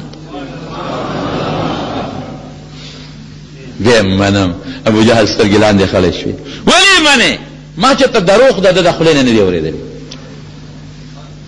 ما وجدته صادقا و امینا ما رښتونی مونته دی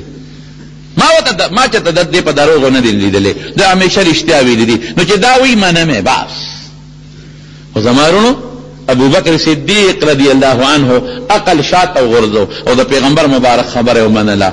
په ایمان کلک پاتې شو او هغه نور خپل عقلونه چلول لاړل برباد شو اقل خو د شریعت خلاف نه دی ګورې په دې هم ځان پوه کړې بالکل خلاف نه دی لیکن بعضی څیزونو ته زموږ عقل رسی او بعضی څیز ته زموږ عقل نه رسی دا اوس نن سبا چې څومره ایجادات شو وایه کنه دلته په موبایل کې ولیکې بسم الله الرحمن الرحیم السلام علیکم ولیکې او یو ټک ولا ورکې په دا یو سکند کې کراچۍ ته دا میسج رسی کې نه رسی نه کېدو څخه لږ کړه وکړه هلکه یو سیکنډ کې دا څنګه ورسېد دا حرفونه دا خو زما په موبایل کې پراته دي دا څنګه په یو سیکنډ کې ورسېد او دلته په موبایل کې وی هلو نو په سعودي کې درته وی هلو او چې بیا وته وی څنګه او یې خیمه په سیکنډونو کې رسیږي که نه رسیږي او یاره نو تاسو ته خو پته نه ما ته خو ما خو بل ځای لیدلی دي تاسو په کور کې دا شیدونه پراته دي په سعودي کې الته کې چې طواف کیږي په مکه مکرمه کې تاسو ته په دې ټلوي ویژن ښکاری کنه ښکاری او په مدینه منوره کې چې خلک د پیغمبر علی السلام سلام ته ولالي اقا خلک د ته مقص ښکاری کنه ښکاری په ټي وي کې د ته دوبه ښکاری امریکا د تخکاری لندن د تخکاری کراچۍ د تخکاری نواز شریف چې الته کوم خبره کوي مقص رته نه پنه برای راست د ښکاری دلته به سوی عقل زما نه مني چې زه نه منم دا ولې دا ما عقل نه مني دا چې په سترګو ووینم نو منم ګنې زه نه منم عقل به رستو کو افرأیت من اتخذ الهه هواه نو الله ګیله کوي د خپلو بندګانو نه ګیله کوي چې ای بندګانو د خپل خواهش اتباع مو شروع کړې ده خواهش پسې روانې او زم پرېښې زما خبره نه منې نو موږ به خواهش منو که الله خبره به منو وایو ته الله الله قرآن شریف د دې نه ډک کړی دی چې جبرئیل فرشته ملائکه دي فرشته عقل زما کم دی دا مني جبرئیل علیه السلام هغه د الله ذوالجلال نه قرآن شریف راوالي او د نبی علیہ السلام مبارک نه چا تپوس وکړو جبرئیل علیہ السلام نه تپوس وکړو وته چې قرآن د الله نه راوالي او دلته را رسېږي نو څومره ساعت کې را رسېږي تر ځمکې نه ړومبي اسمانه پورې د پنځو سوو پنځو سوو کالو مزل او خره تېزې سورلی مزل خره تېزې سورلی مزل او بیا د ړومبي اسمان نه دویمه پورې دویم نه دریم هر اسمان نه بل اسمان پورې د پنځو سوو کالو د تېزې سورلی مزل او وي ته څونه ساعت کې را رسېږې وایي د الله رسوله د سترګې د رپ نه هم زر را رسېږې عقل دی وقل دی عقل خو چې چلی فرشتې به ونه منې عقل چې دی چلو پیریان بم نه منې عقل چې دی چلو د مورګیړه کې بچی چې په کومه طریقه ماشوم پیدا کیږي او لویږي قسم دې دا خو ته په سترګو وینې ځکه یې منې یعنی چې عقل ته یې وکتل نو ته به حیران شې چې دا ماشوم دغلته کې څنګه لویږي دا په اوبو کې د مور په ګیړه کې پروت دی او دا پنځه میاشتې خو ده کې سام وه د څلور میاشتې په کې سا نه و پنځه میاشتې په ده کې سا وه او د د سترګې د د غوږونه دې ته د اوبه نه ورکړې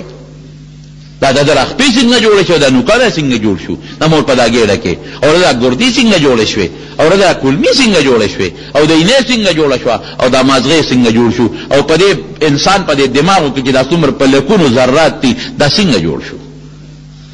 دا خو موږ ویلو نو موږ ځکه منو یعنی چې عقل دې ته اخوا کو قسم دې کدا مو منه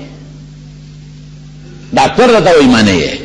ساینسدان درته وایي منې یې، نو د ډاکټر صاحب خبره خو منم، د ساینسدان خبره خو منم، نو د خدای او د رسول خبره به نه منم؟ خواهش اتباع به نه کوو په عقل کې، خواهش به د عقل شاته کوو، عقل به خواهش پسې نه ګرځوو.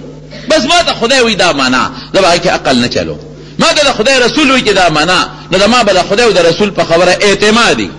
ماته خدای او رسول وایي چې د قبر کې لاندې عذاب شته، عقل وچلوم خو انکار به وکړم. چا په دربار کې امام صاحب قصدا حکمتا لږ غوندې یو پوټی د خپل وخت نه وروسته هم شو او لاره یې هم لږه بدله کړه چې څنګه ورغې دهري غوبل جوړ کړی ستاسو هغه امام چې دی ستاسو هغه ملا پټ شو رانه او رانغېږه دی تا دروغجن ټیم یې مقرر کړی او ټیم له راونه رسېد امام صاحب قصداً تاخیر وکړ چې کله ورغی د دهري مولا غوبل جوړ کړی و چې غوبل احساس کړی دی اوس امام صاحب باندې لومبه دا الزام هاي دروغ دی راته ویلو خپل ټیم نه رسته راغلی دا ستا ټیم امام صاحب خو قصداً داسې کوله امام صاحب ودسته وایي وایي صاحب لاره رانه غلطه شوه په درياب رالم اوس دا د بل د الزام او ملزم کولو دپاره دا قسمه خبره يا توريه کول شريعت جايز کړي دي لار غلطه شوه صاحب په درياب رالم په درياب کې رالم نو کشته هم نه و پولم نو ناګانا مې وکتل چې یو د دریا په غاړه یو اونه وه او کر کر وشو اره کر کر کول او اونه راپرېوته او مېړو تبرګټ مېړو نه لیده او څوک شته نه وو، اره چلېږي او وېښېده، ونیو را پرېوته او چې را پرېوته نو دغه نشته اره کش او د اونې نه څه به اره لګیا دی او تختې ووتې او تختې بیا یو بل سره یو ځای شوې ترکان نشته او چې څنګه یو ځای شوې نو میخونه غیبي رالل او ټک ټک جوړ شو د پاسه په دستکی والی شو او خشته کشته ته جوړه شوه او ترکان نشته ارکش نشته او چې کشته دې څنګه جوړه شو نو کشته نه غرا روانه شو د ما دې خواله رو رسیدله او چې غاړې ته شو نو مخو کې ښکته کړه او زه وتراو ختم او مانګیم نشته ډرایورم نشته کشته روانه شو روانه شو دې بلې غاړې ته رو رسیده تر کو شو ما او د هری چغه جوړ کړې وې دې دروغ ته ګور ارکش نشته او نه ارکیږي او را پریوزي اره کښت نشته او د اونې نه تختې جوړېږي، ترکاڼ نشته او مېخونه راځي او اون او تخته او کښتۍ جوړېږي، ټکټر جوړ شو او ډرایور او مانګې نشته او کښتۍ د یو خوا نه بل خوا ته چلېږي، دې دروغو ته ګوره! دا چې څومره سړی د دنیا دا ډوډۍ ډېره خوري که نه، دا خواهشات وریدام ذهن کې واچوي، نو دا عقل د سړي خرابوي. ډوډۍ به کمه خورې غوړ به هم لږ کم خورې نو ستا په دماغو باندې به هغه د انسان د وجود پخوا به ورته خلکو ګیس وی ګیس دا مشران پوهېدله ډاکټران به وایي مړه ګیس پکې څه ته وایي سر ته وي ګیس ختلی دی سر ته ډاکټران وخاندي وي سر ته ګیس څنګه خېږي چا به په دې خپو مې باد دي باد وی به کبه نه وی ډاکټران وی باد په خپو کې کم ځای دی د خلکو پورې خان دي نو دا ډاکټر دکه خان دي چې دوی دا خیال دي چې ګنې دا به دا پوکی والا بادي او دا سر ته چې کما ګیس خېږي نو دا به ګنې دا پوکی والا ګیس پي واقعي که دغه شي خو دا خو نه دماغو ته خېږي او نه کونډو ته راخېږي ليکن که له دې ګيس نه چې پخوا به دې مشران وي، موږ يو خاص قسم شی والو چې هغه د انسان په دماغو له پاسه خور شي او دماغ ولا بند کړي او د انسان په دې هډوکو باندې ستا د دې غوړو نه، د دې وازګو نه او د دې غوړو څيزونو نه يو خاص رطوبت جوړ شي او هغه ستا په دې کونډو مونډو کې وردننه شي، نو پخپورې دردونه راشي، نو انشاالله چې دا خبره به بيا ټکي. مولانا قاسم نانوتوی رحمت الله علیه کوم چې د دارالعلوم دیوبند بانی دی بانی په هندستان کې یو هندو پندت هغه مولانا قاسم صاحب ته ما سره مناظره وکړه خو دا هغه زمانه چې مولانا قاسم نانوتوی رحمت الله علیه بوډا دی او بیمار دی اوس او هندو پندت چې دغه مولا برا سره مناظره کوي مولانا قاسم صاحب ته وی چاته وی وی هغه هندو پنډت خو تا یادې چې ما سره د مناظره وکړي هغه وی د مناظرو نه وتم زه خو بیمار یم وی صاحب ډېر غوغا جوړه کړې ده وی زه بس خدای دې خیر کې ور به شو مناظرې لرم نو شیخ الهند مولانا محمود الحسن صاحب رحمت الله علیه مولانا اصغر حسین صاحب رحمت الله علیه داسې لوی لوی بزرګان دا ده مولانا قاسم نانوتوی رحمت الله علیه سره شو او ټیم مقرر شو یو ځای ته او هلته کې دوی هم لاړل او یو پنډت هم راغلی دی مولانا قاسم صاحب شیخ الهند ته وی تاسو مې ملګري شئ ځکه چې زه خو بوډه یم بس به زه کوم دې سړي سره بس به زه کوم دې سړي سره خو زه خو بوډه یم څنګه چې خطا کېږم تاسو به راسره یې نو دوی سره یو منشي صاحب او هغه حکیم و حکیم هم ورسره راغلی دی چې دی ورغله نو هغې ورته ویې صاحب لږ صبر وکړئ پنډت صاحب ډوډۍ خوري هندو پنډت وی ډېره ښه ده داسې یو یې غټه کاسه وه لویه غټه کاسه وه وی دا اوس روانه ده پنډت صاحب له ځي او په هغه کاسه کې کم از کم درې نیمه دړی جنس پروت دی مشر جانا درې نیمه دړې الوا د پیسې به زما هغوی و چې تقریبا څه درې درې نیم کیلو خو الوا پرته وه او قتلمې دي او صاحب هغې سره نور د دنیا چرګان او غوښې دي خو لوی درې درې نیمې دړې او لوی جنس د پاسه دی او دا دننه لاړ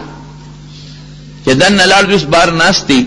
لږ ساعت تېر شو نو هغه لوښی واپس تش راووته منشي صاحب دوی ته وایي منشي صاحب وایي داسې معلومېږي لکه چې پنډت صاحب ځان سره نور پنډتان هم راوستي دي چې یوازې نه دی ځکه دا غوړ جنس چې وخوړی شو نو دا خو غوړ پنځوس شپېته کسان خوري سړي سره ملګري شته مونږ خو درې څلور راغلي یو وی دا خدای دې خیر کړي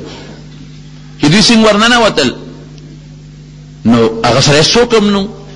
شي یوازې پروت دی دړې والي د بالښته مته کېتا منشي صاحب وایي چې داسې کار چې هغه نور مرګ دي چې ته په نورو دروازو تیری خو چې داسې یو خوا بل خو دروازې نورې نشته دروازه هم دا يوه ده نو د هغه ملګري نه يې ولا تپوس وکړ، هلکه دا دومره لوی شی چې د يو له جنس و، دا چا وخوړل؟ وې دا صاحب پنډت وخوړ. وه د نر بچيه! وه د نر بچيه! دا درې نيمې دړې، درې دړې جنس چې دا بلا خوري، دا بلا چې دومره خوري، زه يو ځای ته يو مړي دوا له تللی وم، دې پنجاب ته، مونږ درته ځکه نه علم چې نو هلته کې چې دوا له سيند لاړم، یو حضرت صاحب او د هغه مور مړه وه یو سړی په موټر کې راغی ډېر لوی غټ و او چې څنګه او ډېر ښه سړی و یاره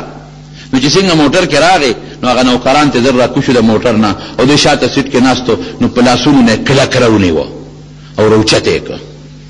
یاره صاحب چې ودرېده که نه نو دې غریب ساعت له راتله نو هغه ډرایور زر موټر ته کېناست موټر یې ته خوا کړ نو دې د ګرځېدو نه نو کټ یې راوړه ورته خوا کې واچوه متکې راوړ هغه ورته کټ کې کېښود او دېس په څلورو پنځو کسو ونېوه نو په کټ کې کېناست. تاسو یقین وکړئ چې د هغه دا مټې نه دي، دا زما د زما پتون نه د بشیرجان په شان چې پنځه پتونان یو ځای کړي که نه نو د هغه مټې وې. ظالمه نو ماته مخامخ ناست دی نو څه وکړم او څه لږ ډډې ته کېنه که نه ټوله خبره هم تاله راځي. بهر کیف هغه غریب له اوبه راوړي چې اوبه راوړي ته یقین وکړه دا زما خپل چې شمدید خبره نو ګیلاس به غون په خوله کې ورواړو او بیا به وتوکو ما د خدای نه یا خدای پاکه دا غریب ته څونه تکلیف دی نو بیا چې لار نو هغه هغه چې چا مور مړو هغه نه مې تاسو کومه دا سوک ته نه غره ته وخاو تاسو ته نه خېمه یو نواب راتیات کوي دا هغه نواب نو سي دی وي د پنجاب کې یو نواب یاد کړ ما ته وی چې دته ډاکټر ویلی دی د یو ګټ سار خوري او ماخام دا سه قبل دی خدای سات یو ګټ سار او یو ماخام او ډاکټر وته ویلی دی چې دین علاوه بدله خوراک نه ورکوي نو چې د باندې سار یو ګډ اخري کنه ابا مولا روي تاوي روي تاوي به ولا دا ولا په غړو کې نه پخاوي ډوډۍ پرې بنده، فروټ پرې بند دي، دقه یو ګډ سهار او ماښام، نو چې دا یو ګډ وخوري، نو نوکران ترې پټېږي، نو چې لس بجې شي، نو نوکرانو ته کنځل کوي چې خدای مې بېخ وباسه، د لوږې مړ شوم، خوراک راوړئ. زما وروڼو! هغه سړي چې وې دونه جنس وغوړو، نو مولانا قاسم صاحب حکیم صاحب ته وې، وې حکیم صاحب مناظره به ته کوې، موږ به نه کوو.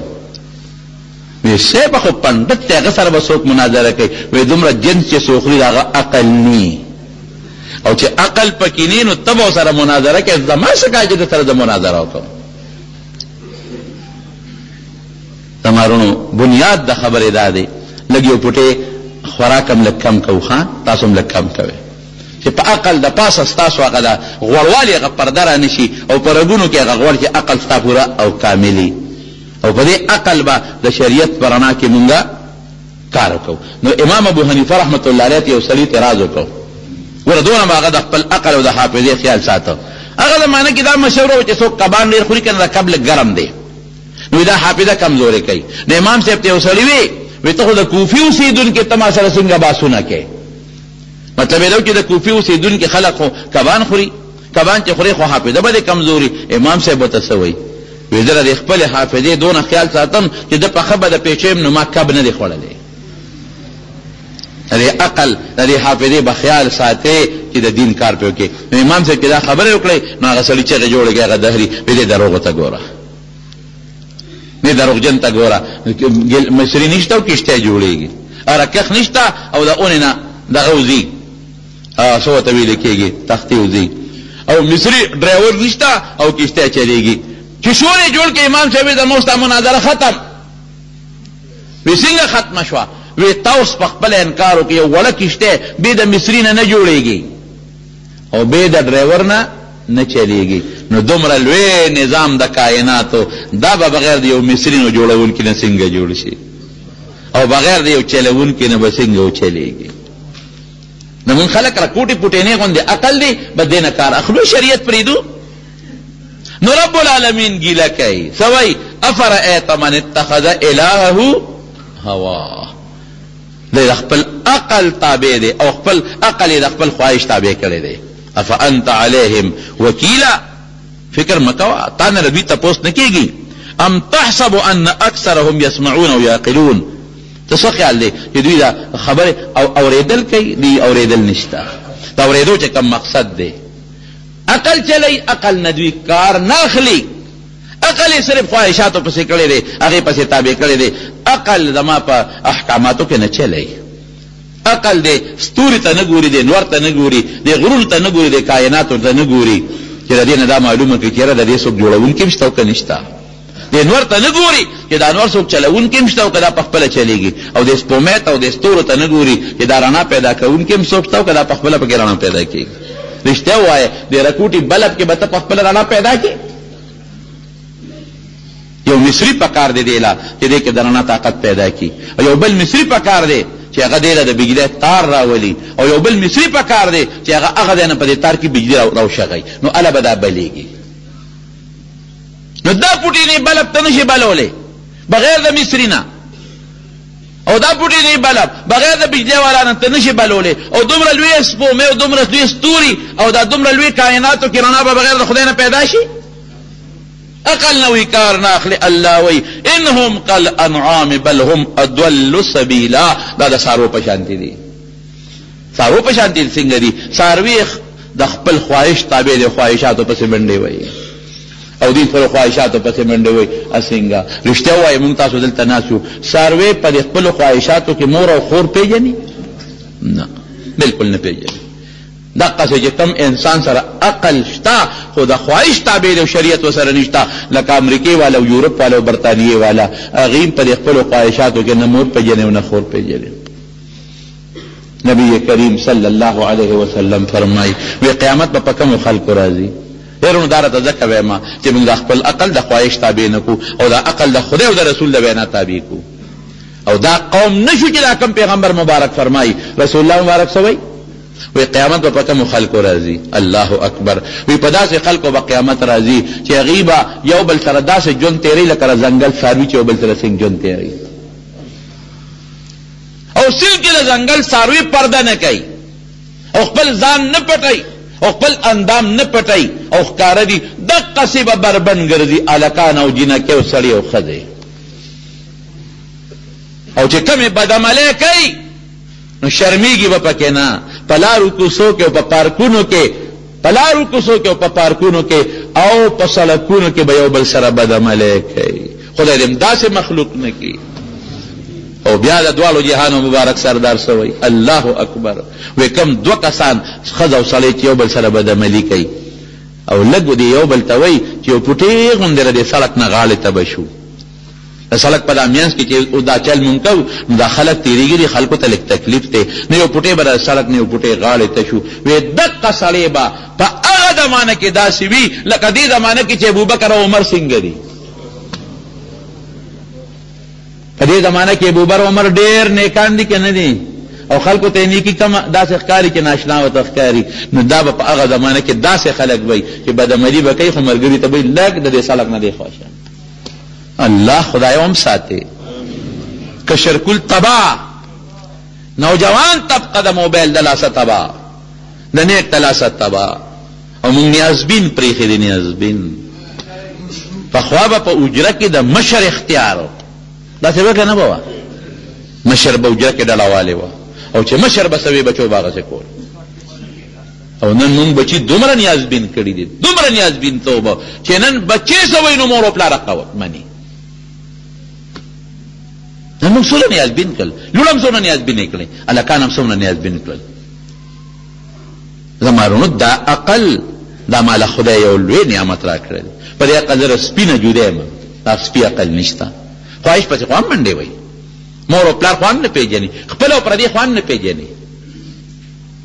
پرده او نا پرده خو سپی نه پیژني خنزیر نه پیژني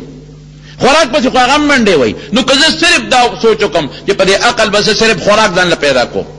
با صرف خوراک به پیدا کوم نو رښتیا ووایه سپی او ما کې څه فرق شو که زه دا سوچ وکم چې نه په دې عقل به زه خپل خواهش پسې منډې وامه نو د ځنګل څاروي خو هم خپلو خواهشاتو پسې منډې وای او که زه دا ووایم چې نه نه نه نه عقل به زه خواهش پسې کړم او پرده به ختمه کړم نو د ځنګل څارو هم پرده نه کوي نو ما او څارو کې څه فرق شو په عقل به ته ځان له پرده پېژنې په عقل به پرده پېژنې په عقل به ته څه چل کې شریعت په پېژنې شریعت پرده کوه شریعت خور او لور او مور او پردی کې فرق وپېژنه شریعت وی خپل مال او پردی مال کې فرق وپېژنه. شریعت وی د ګاونډي حق وپېژنه. شریعت وی د مور او پلار حق وپېژنه. شریعت مور او پلار ته وی چې دا دې ګورې بچی دی د باندې په سر لاس کېږده جومات ته یې بوځه قرآن ورته وښایه عقل نه به د دا کارونه علم عقل خو د انګرېز سره عقل شته که نه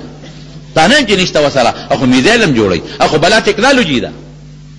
هغه انګريز خو لګیا دی هغه سيزونه یې جوړ کړل چې نن پاک مسلمان هغه نشي جوړولی د ایجاداتو سرخیل مسلمانو لیکن قبضه پې ننغه کړې ده څه نه جوړوي جاز جوړوي میزایل جوړوي بې پیلټه جزونه جوړوي او څه سر څه نه کوي عقل شته که نشته ورسره لیکن د شریعت رڼا ورسره نشته یا شریعت رڼا ورسره نشته عقل یې خواهش پسې کړی دی نو د امریکې ما په خپله په اخبار کې کتلي دي د امریکې یو مور په لور دعوه کړې ده په جج سره وی دا جنۍ چې ده دا دا لور دا لاندې فلیټ کې اوسېږي او زه بره اوسېږم ما سره ملاقات نه کوي ما دې پنځه منټه نه راکوي چې زه دې له ملاقات له ورشم نو جج هغه جنۍ راوغوښتله نو چې راویې غوښتله وی دا رسره وی دا مې مور ده وی ته کوم ځای اوسېږې فلانکي ځای کې دا کوم ځای اوسېږي دا ملته اوسېږي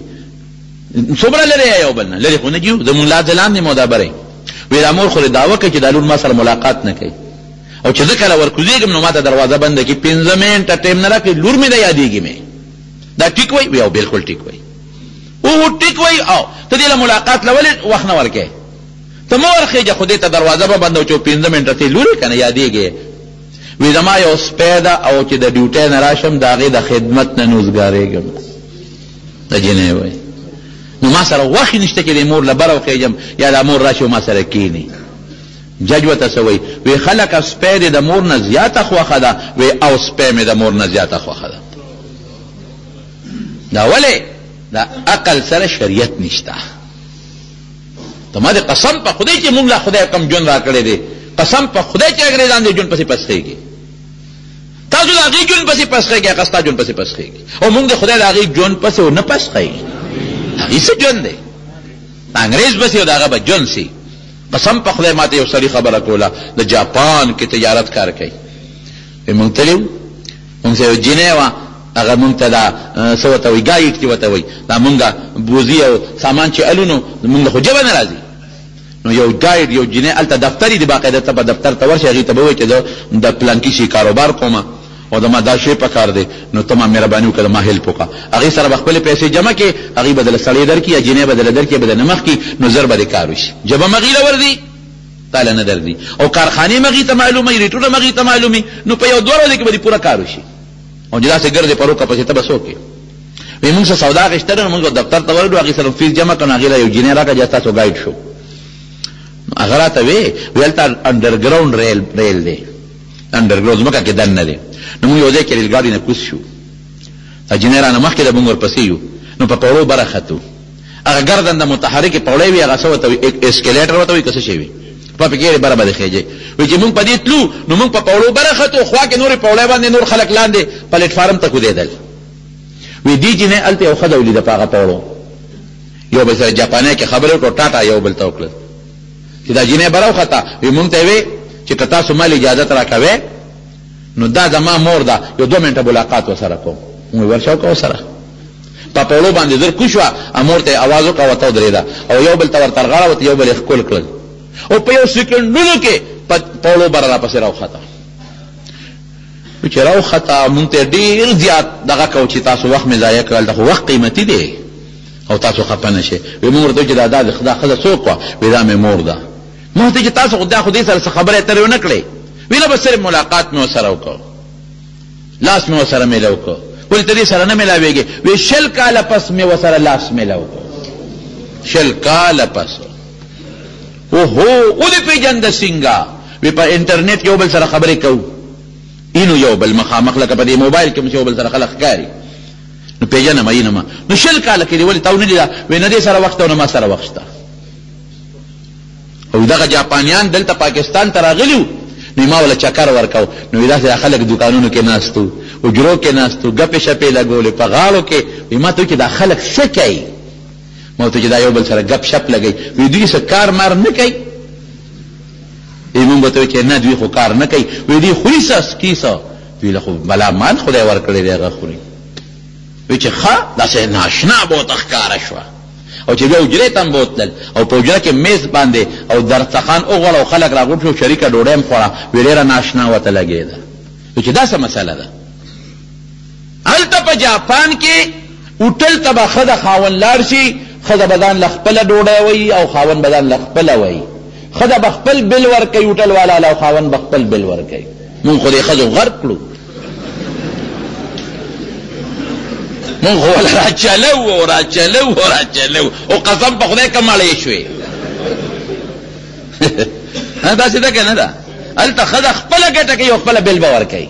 او سړی خپله ګټه کوي او خپل بل ورکوي او په دې کې زمونږ ښځې وایي اسلام مونږ له حق را نه کړه ته جاپان ته لاړه شي چې پته راته ولګي ځان له به ګټې او خورې به خاون به درنه نه ګټي ته امریکې ته لاړ شې چې پته دې ولګي هلته به امریکا کې خزه ګټي نه خوري به په جاپان او په لندن کې به خزه ګټي نه خوري به او خاون له بم ګټي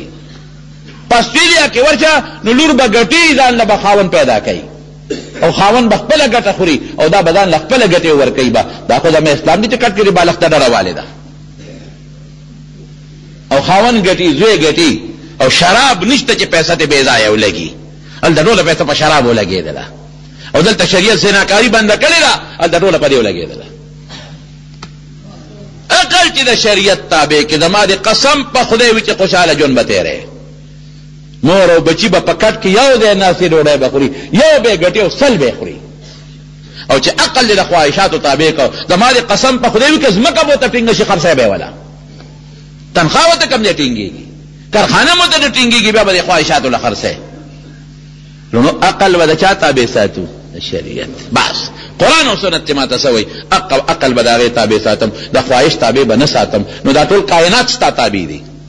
یو به ګټي او سل به خوري ای مشرانو داسې نه دی کړی دا خو اوس دی خلکو د الله نن یو مشر چې به هغه به ګټله او دا ټول به بالښتونو ته به ډړې والې او نیمه نیمه شپې پورې به په حجرو کې ګپونه لګول ای مشرانو نه تپوس وکړئ شریعت مطابق جوړ ورشه یورپ دی یورپ او یورپ او یورپ هلته خو ښځه ځان نه ګټي مور ځان نه ګټي پلار ځان نه ګټي زوی ځان نه ګټي